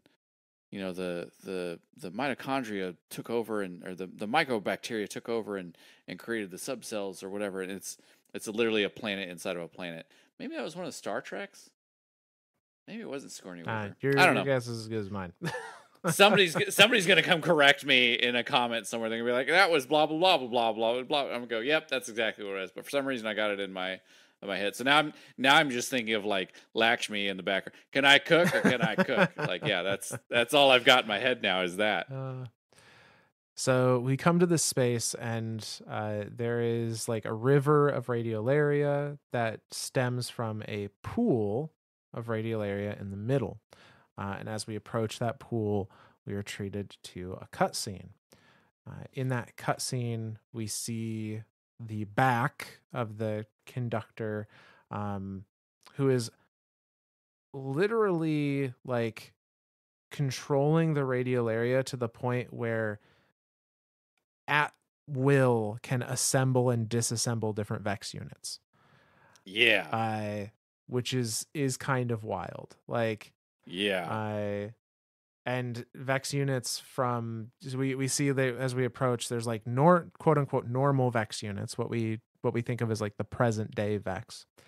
I and the conductor like has them dissolve into the radiolaria pool and then rise you know raises them back up and they come up as like very like gilded vex units um yep, new new and shiny versions of what I think are usually considered the like futuristic Vex. Yep. Uh, which begs the question again bec- is this why they are the is way this they are? where those designs came from in the first place yeah isn't that isn't that a janky thought to think of like that like that all that all that does honestly to me all that does is just prove how much the vex really do exist throughout all time. Yeah. they've shown their future selves to us. Now we're seeing a point where oh this is where they were created. This is how they were created because of this ex because we defeated the witness. Now we've got a bigger threat of, Ve- of vex on our on our hands now. Like we we caused our yeah cool we made our own fate we also cause our own fate because we're not we're kind of dumb sometimes. We don't think bigger picture every once in a while but like yeah it's it was interesting to think of that concept too of like is this why future vex look like future vex? Because they had this evolution here and now that evolution has taken hold and that is that is officially now the new like you know vex 3.0 or whatever. Yeah. So as we uh approach and as us uh saint and osiris they're all approaching the conductor um and as we approach uh it is revealed that the conductor is none other than lakshmi slash maya sundaresh uh yeah and i i will say fantastic voice actor Oh, very much so. I know. I know she's in a bunch of different things. I unfortunately do not have her name at the top of my head, but I everything. gives me heebie-jeebies when she talks like it it's so creepy Yeah, but uh, now th- this was a point of contention um, or confusion that I saw uh, in a lot of cases. Um, of like, well, is this because they the visual appearance, the the head of the conductor is Lakshmi. Um, yep and it is this moment of like but it's maya so why would maya rebuild themselves in the image of lakshmi? I and that that is an important distinction. This is not the lakshmi you know lakshmi 2 that did everything on the tower. This is this is this presumably is maya proper. presumably the original maya. Uh or one of 227 copies of her Well, it is the Maya from Neomuna. It is the Maya from the Veil Containment dialogues. Uh, who you believe that Maya was is a whole nother discussion, but uh, it is Right. the Maya from Veil Containment. Um, and she, I'm assuming, has taken the form of Lakshmi because they the radiolaria cannot create organic, you know, tissue. Uh, sure and you know in her head like the closest thing she would identify herself as uh in a machine form would be the exo that you know was her was a copy of her. Sure. Um but just a very like pointedly this is not lakshmi. It's just maya maya's interpretation of herself in a mechanical body is that of lakshmi. Yeah. Just like the Matrix thing, right? Like you look like that in the Matrix because you think you look like that in the Matrix. Yeah. This is just a physical representation of Yep. that. Now there is one thing I do want to bring up uh, that that uh, as a as to the possible identity of this Maya that's standing in front of us, I'm reminded of uh, Enigma Protocol and the taken version of it, the corrupted Mm. Enigma protocol. And there are those same data constructs in there that you can scan and there get some you get some data corrupted. You wouldn't happen to have those entries on you, would you? Uh, not readily at hand. You bum. How dare you? No. Yes. How dare I Uh, not for some prepare the reason- subtly obscure thing that you just now thought of? exactly. Thank you, Myth. Going on Uh, strike. No, it, that's I guess. Shit. Program's over. End of episode. End of series. End of end of Myths and Ztories. Uh, no, if I recall correctly, one of those corrupted entries that was like you know data corrupted, blah blah blah, referenced uh either either the 227 copies or specifically MSUN 12. Let me. For some reason, I'm remembering that, and maybe, maybe again, I could be crazy. I could be making this shit up. It could be off the top of my head. I don't remember. But for some reason, I remember that being a thing because then I instantly started thinking, like, okay, well, if this is the IMSUN 12, the same one that was trying to access the Otsot machine, um, or Oxa, Ot- Otzot is the person, Oxa is the machine. Right. Uh, through the Scion stuff, that would lead a little bit more, um, uh, I guess, kind of like there's more shit going on here than we than we even we the the player realize. Like if this is if this was IMSUN 12, if that was what, who's accessing the network, then this copy, uh, then then this too is a copy of the original Maya.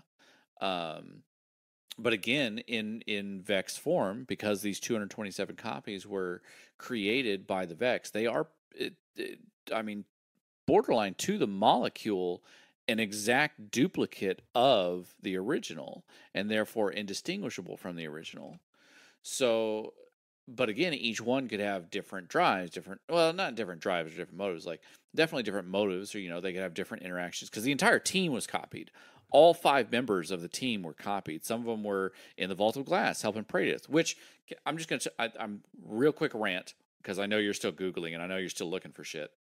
Uh, I am a little annoyed that Praedyth wasn't in this entire episode. He was mentioned though. I he was He was mentioned. Okay, that's new. That's you're gonna have to tell me where. uh, so skip skipping ahead just a touch, but uh, in the exotic mission during uh, when you get the secret chest, there are some dialogues that are played. Uh, it had to have been one that I didn't Yeah. get because I only got like six of the chest or five of the chest or something. I didn't get all what seven. yeah, I there there are seven of them. Of course it is it is a fleeting. Of course, there's seven. Yes. It is a fleeting mention, but um in one of those dialogues they mention uh one of the the 227 copies uh, is like doing a report um meant for other versions of themselves and they uh, Yeah. they mention that they have an original that is with their group. Uh Oh, and the original would be Praedyth because he doesn't have. He's not a Yeah. copy. He's only himself. Oh, fuck me. That's awesome. Oh, that's that's the one. The one chest that I missed is that one. Come on, come on, Zor, get your game together. This is bullshit. Okay, all right. Well, okay. Well, that's it. That's it. Yay!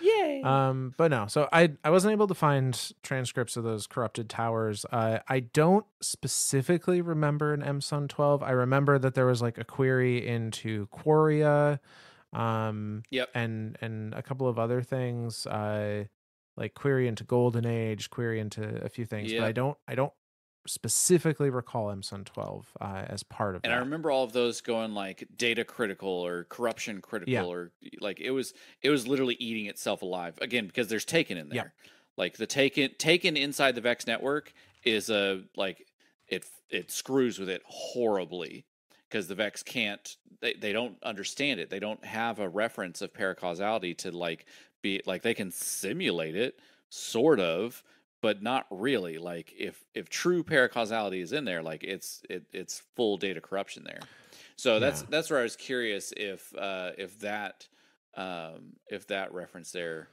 uh made it to where like this this maya that's standing in front of us now at the end of act two really is imsun 12 um okay, so I but yeah i, I don't I found some. I don't know if this is all of them. Um, but uh, this person on uh, Raid Secrets, uh, four three mo five seven. So thank you for your contribution. Uh, thank you they listed out a few of these. They admittedly say they don't believe this is all of them, but uh, they have um, data degradation critical, assert query the collapse, following query the dark age, uh, assert query light bearers the city. Um, basically trying to learn what's Yeah. happening it sounds like they're trying to learn what's happening since the collapse Yes, I, I believe so because this Maya, I, you know, entered the network and like kind of disassociated into the network. Uh, That's what it sounds like. during you know after the the end of the collapse on Neomuna, uh, and has not you know isn't up to date with anything that's happened. Uh, Yeah. it doesn't even know likely about the warlords or the go- you know the the traveler putting out the ghosts or anything. Right. Uh, so they have um, query uh, indecipherable mind, um, and then they have a command to purge queries. So like delete all the his my my browsing history essentially. yeah, yeah, yeah. Uh, and then they have uh, assert query the taken reference file blade transform. So that's that's where Quria popped that's up. the that's Quria. Yep. So, but those are all the the only ones that have been recorded uh, that I could find anywhere at least. okay, then I might actually be crazy, and that's okay. Yeah. But uh, regardless, we have Maya wearing the face of Lakshmi, uh, who is the conductor here. Uh, and Osiris and Saint are both kind of like, what is going on? Um, and they even say, like, Lakshmi? And she corrects them, like, no, I am Maya Sundaresh. I. And then we all run the fuck away. eh, kind of, but not quite. I, yeah, Saint advances on her with the perfect paradox, saying like, "I'm not gonna, you know, I know what power you have. I'm not gonna let you control the Vex to do what you want with them." Um, and she has a little bit of like villain monologuing here of, you know, I'm.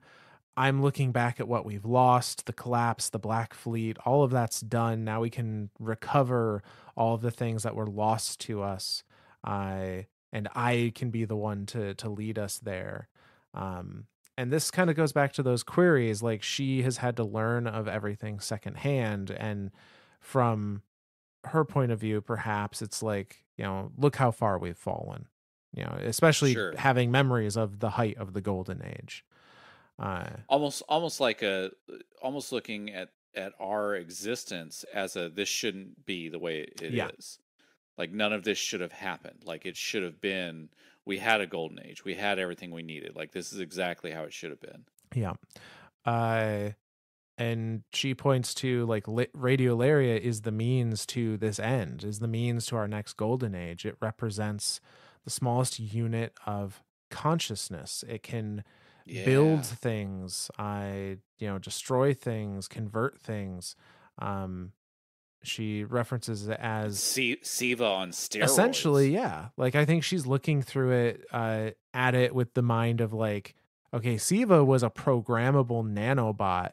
This is thinking organisms that i can yeah. not only direct to do things but they can exceed so far beyond programming because they can form their own thoughts and intentions around how things should be done not just how they were told they should be done.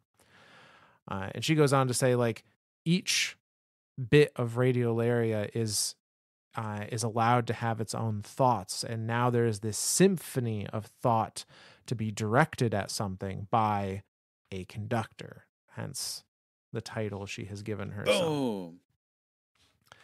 Um and she says you know essentially nessus will be converted into her vision of what it should be uh, and that'll be the starting point. The radiolaria she commands will spread all throughout the solar system and you know in, in a way do what the witness was wa- wanting to do. Essentially like i'm going to rewrite everything in the image that i think it should be in uh, yep. just the means is a little different. Uh and you see she's like shows that she can still exert some level of control over saint uh by like making him you know fall to his knees uh and you know says if you stand in my way then i'm you know you i will break you down and make you part of the building blocks uh yeah. of of this world that I am creating. Uh, deletion protocol activate yeah, she summons a couple of goblins out of her pool of radiolaria, and then we go oh fuck and transmat away. Uh, and that's kind of the ending story beat of of Act Two. I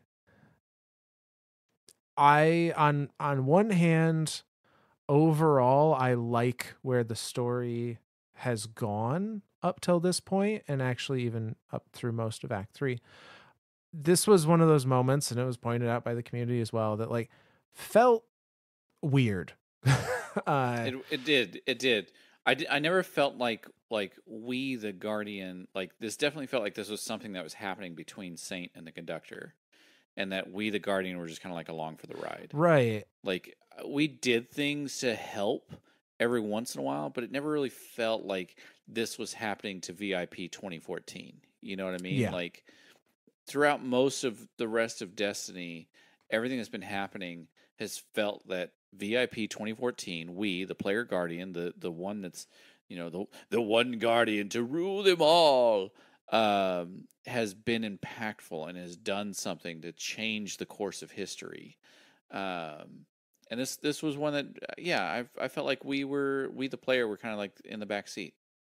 and it just it was and there's there's been some moments like this where I feel like Bungie has maybe struggled a touch with the moment to moment power fantasy in gameplay being transitioned into cutscenes that are like lower stakes. Um Sure. Is you know that moment where okay if it was just saint or saint and osiris uh you know saint's brought to his knees it's shown that like she still can exert some level of control over him okay he's out of the fight. Uh osiris is a lightless you know it is lightless he's human he's mortal. He doesn't have the ability necessarily to fight back outside of just a gunfight and this is you know one dude against uh four vex and presumably more to be summoned probably not gonna not gonna fare all that well Yeah. so like all of I would have loved to see Osiris kind of exert some of his his strand. yeah here. like it, that would have been cool to to see him that would have been a neat tie-in to be like like okay you can fuck with shit I can fuck with shit too like I'm lightless and I can still try because I feel now granted Osiris has evolved a lot he has um, in his mentality of how he attacks things. Um, he's he's not as he's not as like balls to the walls, go go go go go as he was back in like even even at uh, Lightfall. Because even at the beginning of Lightfall, he was like, "We got to get into Nemo. We got to get to secure the veil. We got to da da." da." Like Yeah. he was very much there. And even then, he was. I mean, he had woken up like three months, like not even three Yeah. months before and like hey you're lightless dude. You're not you're you're going to die. Like you can die. And even throughout that season before uh with the with the season of rasputin and and all that um even through that like there were a few times where he was kind of starting to realize it. There's i remember some conversations between him and anna of like hey your sister's just got to do what she's got to do or you know like like like I should I but I should have I should have told myself to like slow down and not be so involved with my work like maybe you need to do the same and take some time with your sister and stuff. So, yeah, it, we've seen an evolution of of Osiris to be less gung ho, less, you know, balls to the walls. But I still feel like in that specific moment, I don't know that he would have cared. yeah like when when your Like- partner is Like being he's done every. That's what I'm saying. He's done everything. He literally went into a different timeline or our same timeline. I'm still not fully, fully on board with how the whole um, time dial thing worked. Uh, I can't can't really decide whether that was actual time trial travel or like pseudo time travel through the infinite forest. Like again, no matter how it was, he risked everything to get Saint back. Like he could have been kicked out of the city again. He could have been, you know, disbanded from the or just.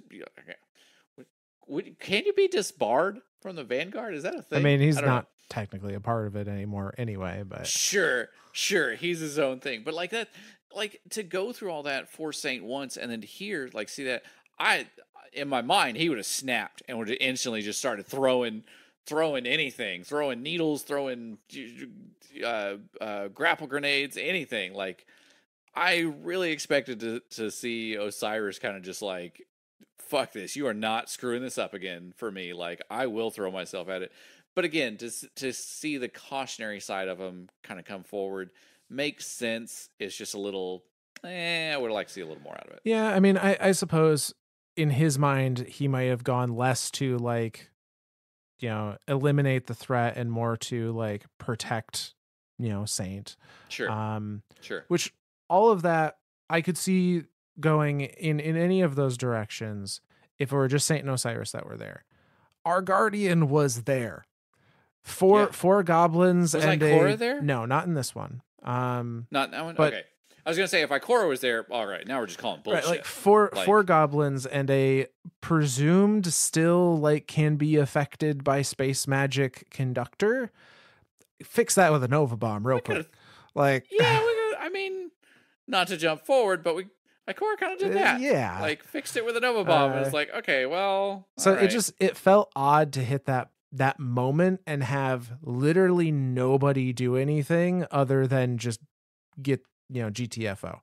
Uh, Yeah. So it was it was a little dissatisfying, It was odd. but it was the end of Act Two. You know, Act Three was coming up. It was it was kind of a like, eh, okay, fine. Like maybe the Guardian also Sure. was more concerned for the very mortal, frail Osiris and the like out of commission saint as well. We keep referring to Osiris as this frail old he man that kinda do is. anything. He kind of is, but at the same time, like I dare you to go up to tell him that to his face. Oh, yeah. He'll shut you down real quick. yeah, he'll he'll have none of that. But by comparison, mm, yeah. Eh, Uh, yeah, he's kind of yeah. but needless to say, we we end Act Two on this like Maya's the conductor. She has this vision of the golden age, um, and then we we kind of get into Act Three, and Act Three was really interesting because we get another cutscene uh, that is diving into the rationale of Maya. And we learn that it's not necessarily just her being like, yeah, this golden age, we've lost so much, like we things can be so much better. Like that's what she said. And that's kind of her her reasoning that she's you know that that I think is is the way she's justifying everything. So be like, look, look at this is such a grand uh you know endeavor that I am taking. And what really we learned was happening was she uh, recognizes that she's been separated from Chioma. You know, that Chioma does not exist in the same way. I, however, there are myriads of versions of Chioma, including the one that followed Maya into the Vex network on Neomuna, uh, within the Vex network still. And really her golden age for for all her like, you know, grandiose uh messaging, Maya's idea of the golden age is a world where she and Chioma are together again, but not just that she and Chioma are together again, but she is together with a Chioma that under I won't say understands, like supports her craziness. I yeah. like she doesn't want someone that is going to be a dissenting opinion. She doesn't want someone that's going to be like you have become a monster. She wants someone that, you know, she she wants a Harley Quinn to her Joker kind of thing. Yeah. Well, and because like she's already experienced the the level of like you're a monster. Like we Yeah. saw that through the veil containment Mhm. stuff. Chioma just straight up said like I don't know who this is. I, this is not my Maya. Like like even back then, like uh, not knowing that like you know there's copies or what or not knowing how the copies are interacting with each other or whatever. But like Chioma Esi back then was like really like the to see Maya discard, you know, the, oh hey, we lost, you know, 30 exomines today. Eh, that sucks. Let's keep keep going with the Yeah. testing. Like in Chioma's eyes, the the original Maya would have seen those as like human beings. Like that was the whole reason why Maya stopped working with Clovis was that she recognized those as human beings as as not just a piece of hardware stuff. So yeah, it I it's I can kind of see Maya's side of it of like she's already seen that play out and she's like, "No, fuck that. I didn't like that. So let's find somebody who supports me." That but it's still my but it's still Chioma. Like that's that's demented. That's fucked up as shit. Yeah, like, and- but I, but I guess I get it. I mean, I can under I can't condone all of it, all but of I Act can Three. Go, I was going to say all of Act Three goes really dark. it does. really fast. It absolutely does. and I was like, "What the fuck is happening?" So, um, so in Act Three, I there's not going to be nearly as many kind of touch points to go over one by one because there's kind of like a few big revelations, and then that's that's it. Um, which is not a, a critique; it's just like that. There's some big story beats and That's not a whole lot in Yeah. Uh, so we we learn that Maya is not seeking for a golden age for the system and like some level of perfection. Her version of perfect is a world where she and her idea of a perfect Chioma exist. Uh, And she is willing to let everything else burn or change in the pursuit of that. Yep. And this then gives us access to uh, the new exotic mission, which is Encore. Uh, and through that exotic mission, we are progressing further through the the Vex network, uh, or excuse me, through Nessus, not the Vex network, um, to Still kind of following the radiolaria. around. yeah, we're we're following the radiolaria and we're we're trying to uncover whatever information we can about uh you know about where Maya is located, like the methods uh that she is you know enacting these levels of control like uh, we're we're trying to figure out like okay what what's making her tick? What is she what is she doing? Not just what her stated end goal is but like what is the process she is taking to get there so we can hopefully understand how to combat it. Sure. and uh, what we discover is that she, at the the very heart of Nessus, has a like research lab that she has been, you know, performing experimentation on, uh, or at. And as we get to that research lab, we discover uh, it is littered with exobodies uh, in Mhm. various forms of disrepair. Sometimes it's like just a torso and a head. Sometimes it's a full body. You know, and, and iterations uh, of those. Uh, and what we learn as we inspect some of those different exobodies over the weeks is essentially just we get little glimpses of times where Maya pulled a version of of Chioma of one of those 227 into an exobody like out of the Vex network into an exobody and then interrogated them to be like, are you the perfect Chioma for me? And if there was, if their response was beyond whatever her like acceptable variation was, then she would just immediately kill them and move on to the next. That's so fucked up, man. Incredibly so. that shit got dark real fucking quick. And I was not ready for it. Like the first one, she was like, degaussing. I'm like, what? What are you doing? Oh God. Oh God. And she like kills her like mid scream too. I'm like, oh God, Bungie. Oh God, what is happening? No, the universe is a better place now. We got rid of the witness. All the darkness is bad. Bad things are gone. Like, no, what are you doing? Yeah. It's Is, it's pretty dark in there. not good. Encore is Encore is rough. Is is not good at all. And then the worst part is like you have to play that every time I know you can't just progress. skip it. the- you can't skip it. You have to continually like every time you run back through it, you have to play it. You have to listen to it. And you're just like, oh god, oh god, what is wrong with these people? It's so bad. Yeah, so we play through this encore mission, uh, and pretty much all of Act Three is uh, iterations of encore. Uh, yep. going through and experiencing more and more of these wonderful interrogations. Each each one of them gets worse because like each one is a new version being deleted. And it's just it's each one is just worse and worse and worse and it's it's so dark. It it is incredibly dark, and there there's a couple of the conversations that um that like eh, stuck in my mind. The the first one definitely, uh, and then there was another one where like she she asks them different questions, like I. One of them was, you know, what did we name our daughter? Um, another one was, uh, how did Was it like like how did I how did, what did you call me or something? yeah like, like or yeah what what did you call me on on our wedding night something like that um and that one stuck out to me uh because Chioma said that uh she called her uh Suryo Suryodaya Suryodaya. I think that's the, the Yeah. correct term. Uh, which translates to sunrise.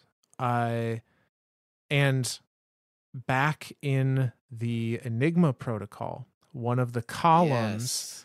queried sunrise, and the response, like the response it got back from that query, was Suryodaya. Uh, Yeah. so like just another kind of little callback there that if I don't know that we would have had a reason to connect Maya to Suryodaya other than like Sundaresh is kind of similar. Um Yep. but even you know it's just another link of like yeah that was that was all Maya. Uh Yep. but uh but so we you know play through this a number of times uh experience all of these and the vanguard of course is getting notes on everything we're experiencing as well and like oh god this is awful was bad. Well, we also learned something uh, something really interesting too. Um, not necessarily through Encore, but I think it was like the first week or first or second week through the radio messages, um, the failsafe radio messages. We learned that this Maya has memories of the Kogu.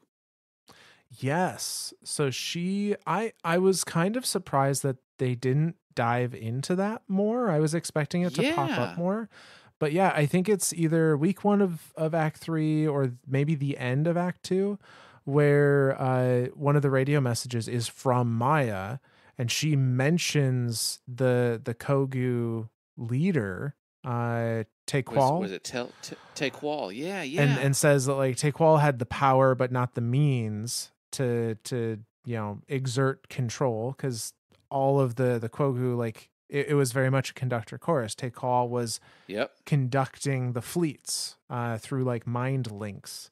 So she has access to that, and we theorize that like if the echo of control is made from memories of the races the witness has conquered, like then it perhaps the echo of control is what's left of the Kogu memories. Yeah.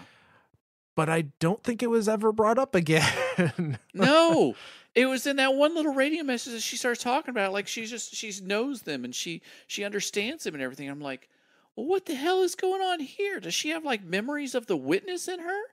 Is that what's happening now? Which then i mean that opens up a big old can of like what the hell and what Yeah. ifs. Like does that mean that like all that's in the vex, vex network now? Like obviously the vex have had interac- interactions with the witness and stuff not but like it, it it brings about a whole level a whole new level of like what is actually happening here? What is going on with this maya sundaresh what what does she have access to? What memories she have? All of that. Yeah it's it's a it's it was just a really interesting like what the hell moment. Yeah. Um but yeah, so uh as we are exploring her uh you know, getting more of these these interrogations, Vanguard's like putting the pieces together of like okay, she's looking for a specific Chioma. Uh and they you know, they come to the conclusion of like she's she's looking for the Chioma from her own timeline, like from the one that she personally knows. Uh and they're like, okay, well, what if we find that Chioma first? And if we find her, maybe she can like talk Maya down. Uh, is kind of the idea. Uh, fingers crossed and so we um, go to Veil Containment, get uh, some kind of like signature of Chioma or, or uh, some way to track her off those Veil Containment logs. Uh, and we track her signal through the Vex network to find out where she ended up. Uh, and we track her back to one of the destroyed exo bodies in Sundaresh's experiment hall. Uh, it's it's so messed up she found exactly what she was looking maya found exactly what she was looking for and still deemed it not worthy Yeah. and deleted it and killed it like Ma- Maya at this at this point Maya's just fucking batshit crazy now.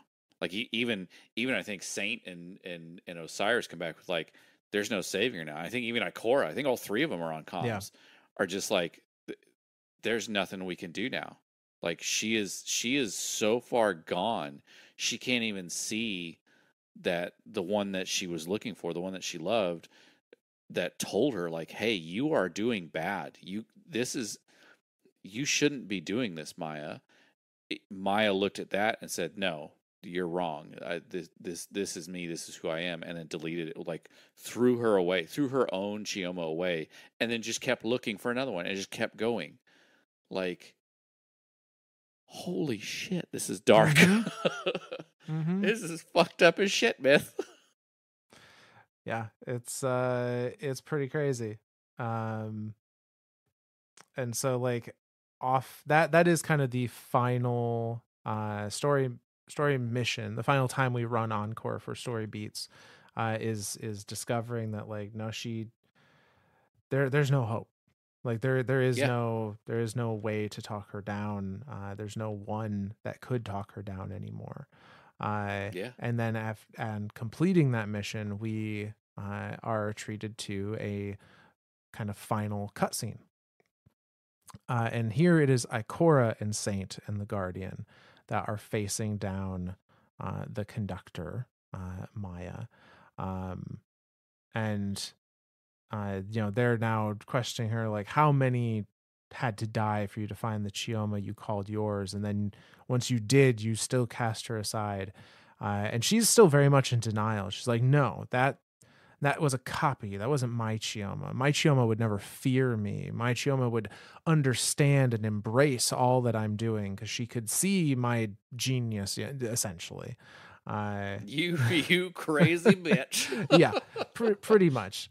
Uh, and Ikora does the little jab of like, "Oh, splitting hairs to justify murder, are we? We you sound like Clovis." Uh, Yeah. Oh, that sent her over the edge. That was like to to throw that name out there. I think like that's that's where Maya snapped. yeah, she she was very like, "Well, I see. There's no way you'll understand me." It was was kind of her her like, "Oh, emotional expo- uh, an emotional response. How cute. You know, I'm so far Yeah. above you. There's no way you'll ever understand me." Uh, and um, you know, they uh, Ikora and everyone makes makes mention, you know, makes moves to be like advance advancing in on her. Ikora like, you know, pumps the shotgun is is advancing in and she uh begins to exert her control, but it's not just Saint that's affected this time. It's everybody. It's Yeah. Ikora, it's the Guardian and Saint uh, are all forced to like drop their weapons and start moving towards the radiolaria pool, which tells me that her power has advanced beyond just the control of radiolaria to the control of potentially anything. Yeah. Uh, Yeah, if she has control over organic matter, because I mean, obviously, Ikora is our organic Yeah. matter, um, and depending on your guardian, like for me, I, I was an exo, so I, my my warlock is an exo, so like I was like, okay, that kind of makes sense there. But now that it's like controlling uh, uh, Ikora, that's organic material. Uh, this is bad now. This is officially escalated. Yeah, like we we have we have gotten to a new level of not good. Uh Yeah. But she's, you know, controlling you all to walk forward and intending for you to like drink from the radiolaria and transform into Vex. Become one. It's so fucking creepy. Saint, however, is able to break his hold uh, or break her hold over him. Uh, Sentinel shields up, and uh, Captain America is a shield off her dome, which I, you know, distracts her enough that she's unable. You know, she loses control of the other two. I and Ikora then Nova bombs her ass into the pool Yeah. of radiolaria. Uh, Ikora, Nova Bomb, go! say, Which then a weird thing happens. yeah, So this this is everything up until literally that point. I was like, and even that point of like Nova Bomb, go. All right, neat, cool. Like now we're gonna have a big old fight. But then we don't. no. So Maya just kind of like data lattices up and like dissolves into the radiolaria, and now she's just chilling in the Vex network, and we're fine with that. Yeah, we we have a very like there's an odd moment. Um so she's kind of floating in the pool as she's dissolving into it, saying, uh, you know, perhaps in time you'll see. You know, perhaps in time, you know, my vision will become clear to you. Uh, nope, you still crazy bitch. and she just kind of like floats down the the river, the Radiolaria River. yeah, Uh, and our guardian and Ikora and Saint are stuck standing there going, "Oh, well, I guess she got away." And then it just Bye. ends. yeah. This this is the one time like again throughout this episode like everything was building to something. And this this is where again I I know the community's kind of there people have been poking left and right as as as the same thing. This is where it got really odd for me. Like it didn't make this ending did not make sense to me.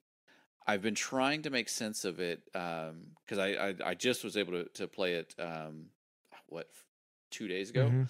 Um, so yeah, so like it, it's still kind of really fresh in my mind of like what happened at that at that cutscene, and then even the dialogue afterward, where like you go back to the helm because there's like some finish up dialogue where like you know you go back to the helm and they kind of discuss like she's still in the network, she's still out there, it's she's still a threat, like, and so it it it it's just it was really odd to me. Like I thought we were really building up to this like okay, we're gonna kill her, and then you know now we the the the vanguard or we the the guardian now have the echo of command and we're going to need to like secure this somewhere and like lock it up in a in a hidden vault somewhere you know one of one of Ikora's hidden hidden vaults or somewhere in the the vanguard archive or something and study the piss out of this thing.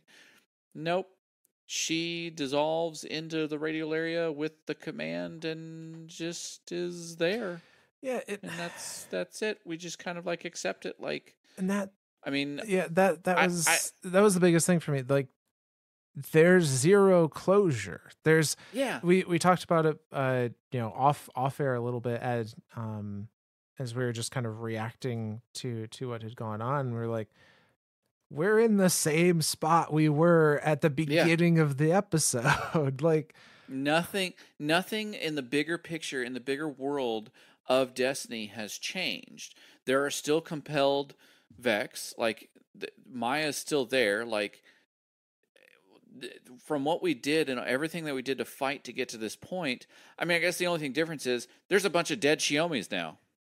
yeah yeah That's the that's the only true difference between the beginning of this episode and the end of the episode. And it it's it's a little disjointed. It I I I'm scared now again. You know me. As soon as shit starts going sideways in Destiny, I start getting scared.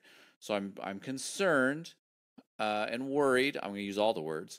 Uh, I'm not gonna say I'm mad.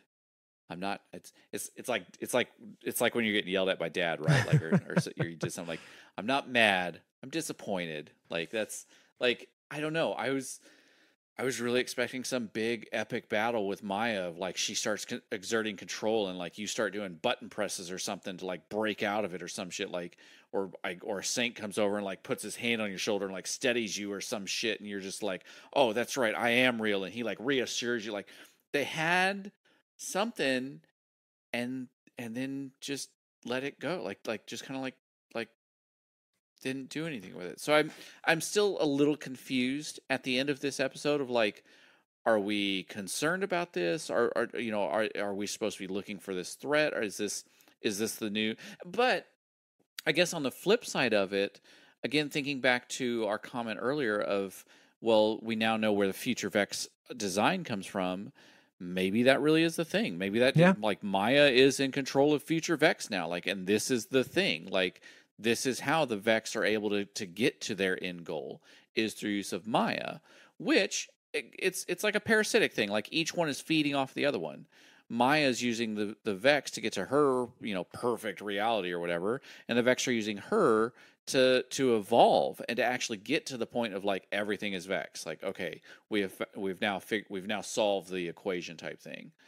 So i i could kind of see it going both ways but at the same time it i like what you said we, we didn't get that closure at the end. Now i'm just kind of left here questioning like uh are are we supposed to be scared? Are we supposed to be concerned? Are we yeah. are we worried and I, I guess that's that's my biggest uh my biggest gripe and, and kind of what I, I feel like uh is the biggest downfall of this this narrative arc is like you don't leave like it'd be one thing if you left the the ending of this narrative arc and were either uh, excited or felt like you know fulfilled so you're like yeah we messed them up and we we you know saved everything and the vex are you know maybe still a problem but not you know the problem they could have been or even if it Sure. had been intentionally like you know maya did some shit and got away like you know i i but got away in a way that she's not an immediate threat still um Sure. you know maybe we wrestled the the echo of control from her but she escaped and now we gotta always watch our back kind of thing or you know yeah. or maybe we defeated It's- that it's- it's- version It's, that. It's of it- her it's that thing right there, right? Like the the idea of like we got something out of it, even if she did escape. This version of it is she escaped and we didn't get anything out of it. well it and it's it's we're left at the end confused like Yeah. as to like you know say and and failsafe are are like yep i guess we're done good job everybody and and i'm standing there going like no we're not no, not good job.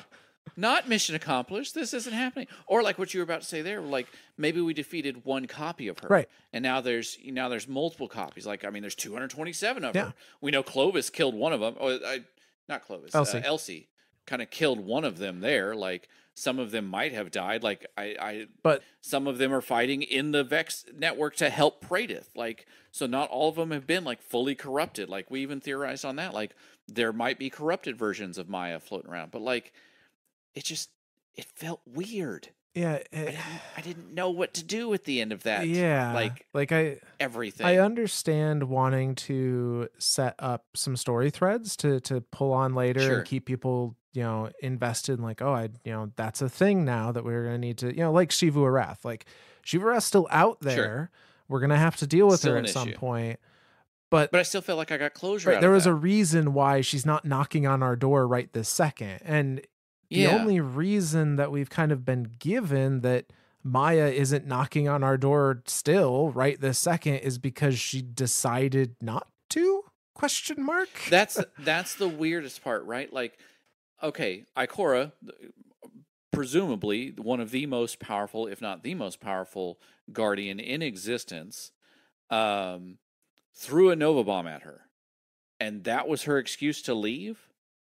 Like, I, I, I'm not, I'm not following the logic here, Yeah. right? Like, I'm not following the the level of like, okay, that's why she was scared. Like, we didn't do anything crazy to like scare her off.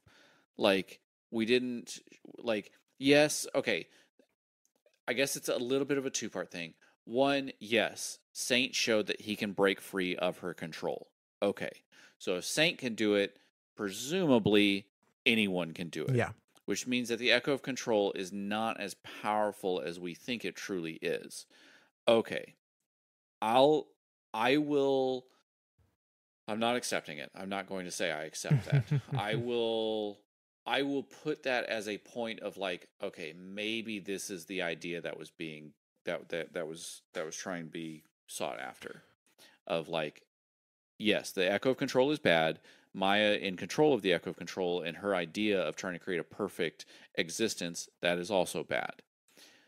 But we as as individuals or or or the Vanguard or the, you know VIP 2014 or whatever, were able to do something to like lessen the hold of it and lessen the immediate threat of it. But really, all it was was Saint kind of snapped out of it somehow. And again, just somehow, like the light in his helmet turned back to purple, and that was it. Like, oh, okay, I suppose. Like maybe he's been messed with enough that he finally accepts that he can assert- assert his own will and that you know he can't be controlled. Like no one can control him. Like okay, you you're getting you're getting real thin here, buddy. Like you're getting real thin ice here of like plausible things that are happening going on here. And then to Ikora just be like Nova Bomb, and then Lakshmi go, oh, damn, you beat me. yeah Okay, see you next time. yeah it just Bye." And i i don't i don't want to uh, harp on it for for too long here I'm but not. I'm not. That's that's the big thing. Is like it. I to put out like we felt dissatisfied. We're we're concerned for the next Yeah. episode. Like, that that that's kind of where it where it lands and and i know you know we we try and find the silver lining as much as we can and i i will say Yep. beyond the very final ending and a few moments here and there you know i pointed out the end of act 2 Uh, Yeah. But over overall, like I was really, I was quite engaged with the narrative of this. Like I, I feel Yeah. like until that moment, the story being told was was a good one. Uh, yeah. Like I said, when it went real dark in Act Three, I was like, "What the fuck?" Yeah. Like I was genuinely scared. Like I was freaking out. I was like, "This bitch is evil. This, this she is crazy. We got to stop her." Like, yeah.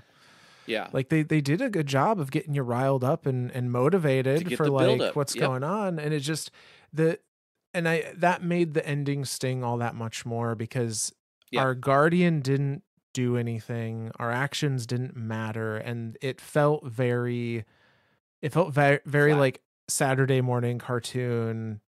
Yeah, it, it felt like the story didn't know how to end and so it did it in such a way that it made the the viewer feel like like we're supposed to be stupid you know Will Will Ikora ever recover from this? Will Saint ever see the, the, the his true self? Find out next time on Destiny Ball Z. Yeah, Yeah. that's so that's exactly what happened here, and it was it was uh, again a little flat, but I could see where they were trying to do something to be like set up a future threat of like, okay, now we've got something we can pull on later Yeah. on. It could have been handled better. Th- That's neither here nor there, but it's uh, that's that's what it is. That's what we have. Yep. but so overall that that is uh the end of the main story beats um there is a epilogue uh technically like an epilogue quest you go through encore again uh and you investigate um some anomalies that have appeared and all of these anomalies are uh, little bits of memory from maya and chioma uh that, that are like happy memories that are during their time where they were, you know, on the same page and one of them was not psychotic. Uh, Yeah. uh, additionally, Encore has a whole bunch of secrets. Like the Encore mission, although we are, I think I think it was really well. oh, done. I think so too. I think we're asked to run it maybe a few too many times just to do story Yeah. stuff, but. Yep. Uh, the the mission itself really really awesome. Lots of cool secrets there. Uh, the exotic at the end also quite fun. Uh, so like no really no complaints there um but some of those secrets also give you uh the those seven secret chests give you little dialogues uh that are little snippets from the various uh simulation teams of Maya Chioma, the rest of the Ishtar group, um, that are spread throughout the network, and they're like leaving messages for one another. Yep. Because it sounds like they know that the Chiomis are being hunted. Yeah, like they they have identified that like, hey, Chiomas are going missing. Some something's not right here. Uh, and at, it doesn't seem to be at any point that they identify what is happening. Uh, but they they identify like Chiomas are going missing. Um, you know, they're setting up like kind of kind of meeting points of like, okay, meet at this simulation that has the pink sky. Uh, or Yep. you know, this you know this planet that is uh you know covered in bismuth like they they it it, it was really a cool little bit of world building to be like these teams are still in the network working together like setting up meeting points uh within these simulations like that was neat It did the thing that I love about Destiny, where it makes the game feel like it's still alive in the background. Yeah. Like it's still there's still stuff happening there, even when I log off and and go to sleep. Like it's that that is stuff like that is fantastic. Yeah. Yeah. So again, there there are there we're not going to be all negative. We we never are. There are definitely some really cool positives here. Um, but yeah, but yeah, that's the that's the season. yeah that is that is episode echoes acts one through three. But don't be disparaged. There is still more stuff that we're going to cover because there's a whole lore book with this thing. There's a nine page lore book Mhm. um, called Polyphony? Paul, Polyphony? sure Paul, Paul, fuck. God damn it. Uh, yeah, there's a lore book there that uh, we're going to read through that as well. Um, there's all sorts of cool little lore entries on uh, tons of the gear and the, and the guns and stuff that are like things that are happening throughout the season. So we wanted to like we wanted to like tell the story of the season. So we got kind of like a baseline of like, hey, this is the season. the our next couple episodes are going to be diving into the lore entries on the on the gear and the guns and the lore book itself. Yeah. So you have those to look forward to. Uh, maybe it'll flesh out some more of the the details of things um, that we experience throughout the story itself. Uh, Maybe they will explain the whole Echo command. Maybe so. Thing. maybe so. That that would be neat. Maybe they give us a little hint as to like what Maya is going to do next, or why she's laying low, or you know, who knows. But uh, Yeah. but yeah. So regardless, if you liked what you heard with this episode uh, and you want to support us in some way, best way to do so is leave a uh, comment or uh, a rating on your platform of choice. Uh, you can reach out to us Twitter at Myths and Ztories, um, youtube.com slash at Myths and Ztories, Missing Stories at gmail.com. Uh, Spotify now also lets you leave comments, so you can leave stuff there if you so choose. Uh, and you may hear yourself as a future shout out, which speaking of, we have a few to go say, through are we gonna tonight. are we gonna do a shout out or two? I know we're running a little long on this one, but uh, yeah, we'll we'll get a, a yeah. few in here. Um, so the first shout out here comes to us from Spotify. Uh, comes to us from Matthew, uh, who says, uh, in regards to our uh, Dynasty Part One episode, um, who says, wondering how you guys are in, uh, enjoyed the exotic mission this week. I had a great time with it. It was so creepy and fun, and it made me excited for stuff coming. Do you guys think we could possibly get a fallen guardian soon? Just a crazy idea. Hope your week goes well. it's not not out of the realm of possibility. Yeah, I The Eliksni, the Elix, the House of Lighters. They, I mean, they they exist. It's a thing. Now the big thing is eh, for it to be classified as a guardian, it would have to be a fallen with a ghost. right. That's that's the big thing is is the traveler or the not the traveler, the ghost as it's going through looking for something to res would have to deem it, you know, have the qualities of a guardian and res it. The big issue I see now with that idea is the ghosts have now the the purpose of the ghosts have already been have officially been fulfilled Right. the witness is dead the witness is no more the idea the again this is neither confirmed or, or anything like that. We don't know the true purpose of the traveler releasing the ghost. We've always theorized that it's been to raise an army. That army is now no longer needed because the big threat that's there is gone. So on the one hand yes totally possible. On the other hand i'm starting to lean more towards not likely because the the role of the ghost have been fulfilled. Yeah. No, I'm of a similar mindset. So yeah. Yes and no. Yeah. Yes, cool. No, probably not gonna happen. Yeah. I, I wish it would. Uh, it likely wouldn't be like a playable character, even if it did. It'd be a you know an Sure. NPC because uh, I imagine there's there's more things they're going to work on before it's creating animation and models and all of that for Eliksni player How characters. armor stretches on Yeah, Elixir. yeah. Yeah. Uh, but it's a cool idea, and I do hope it happens at some point in the future. Sure. Um, and as far as how we enjoyed the exotic mission, uh, we talked about that a little bit already. But yeah, we we quite enjoyed it. Two thumbs up. Uh, uh, next one here, also coming to us from Spotify. Uh, this one from Seamus says, uh, Another great episode, guys. Uh, you were talking about disciples and dissenter statues controlling the pyramid ships, uh, and this gave me an idea. There's no statue in Rhulk's pyramid ship, which is why it's stuck in Savathun's throne world. Savathun hid the statue away on the moon, which is the K1 anomaly, so the witness had no control over the pyramid Oh shit. which would keep Rhulk trapped with the upended so that the player could later defeat Rhulk and destroy the upended later as part of one of her plans. Uh yeah, Dude, that like that's that's a cool I I like the theory for sure.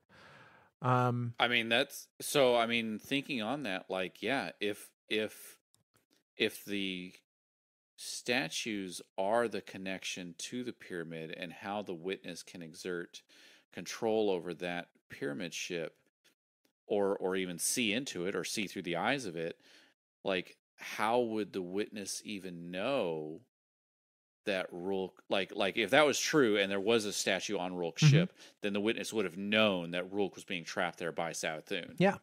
That would make sense. Because because he sent he sent Rhulk specifically to go watch her, and then she was like, "Ha, got you, bitch," yeah.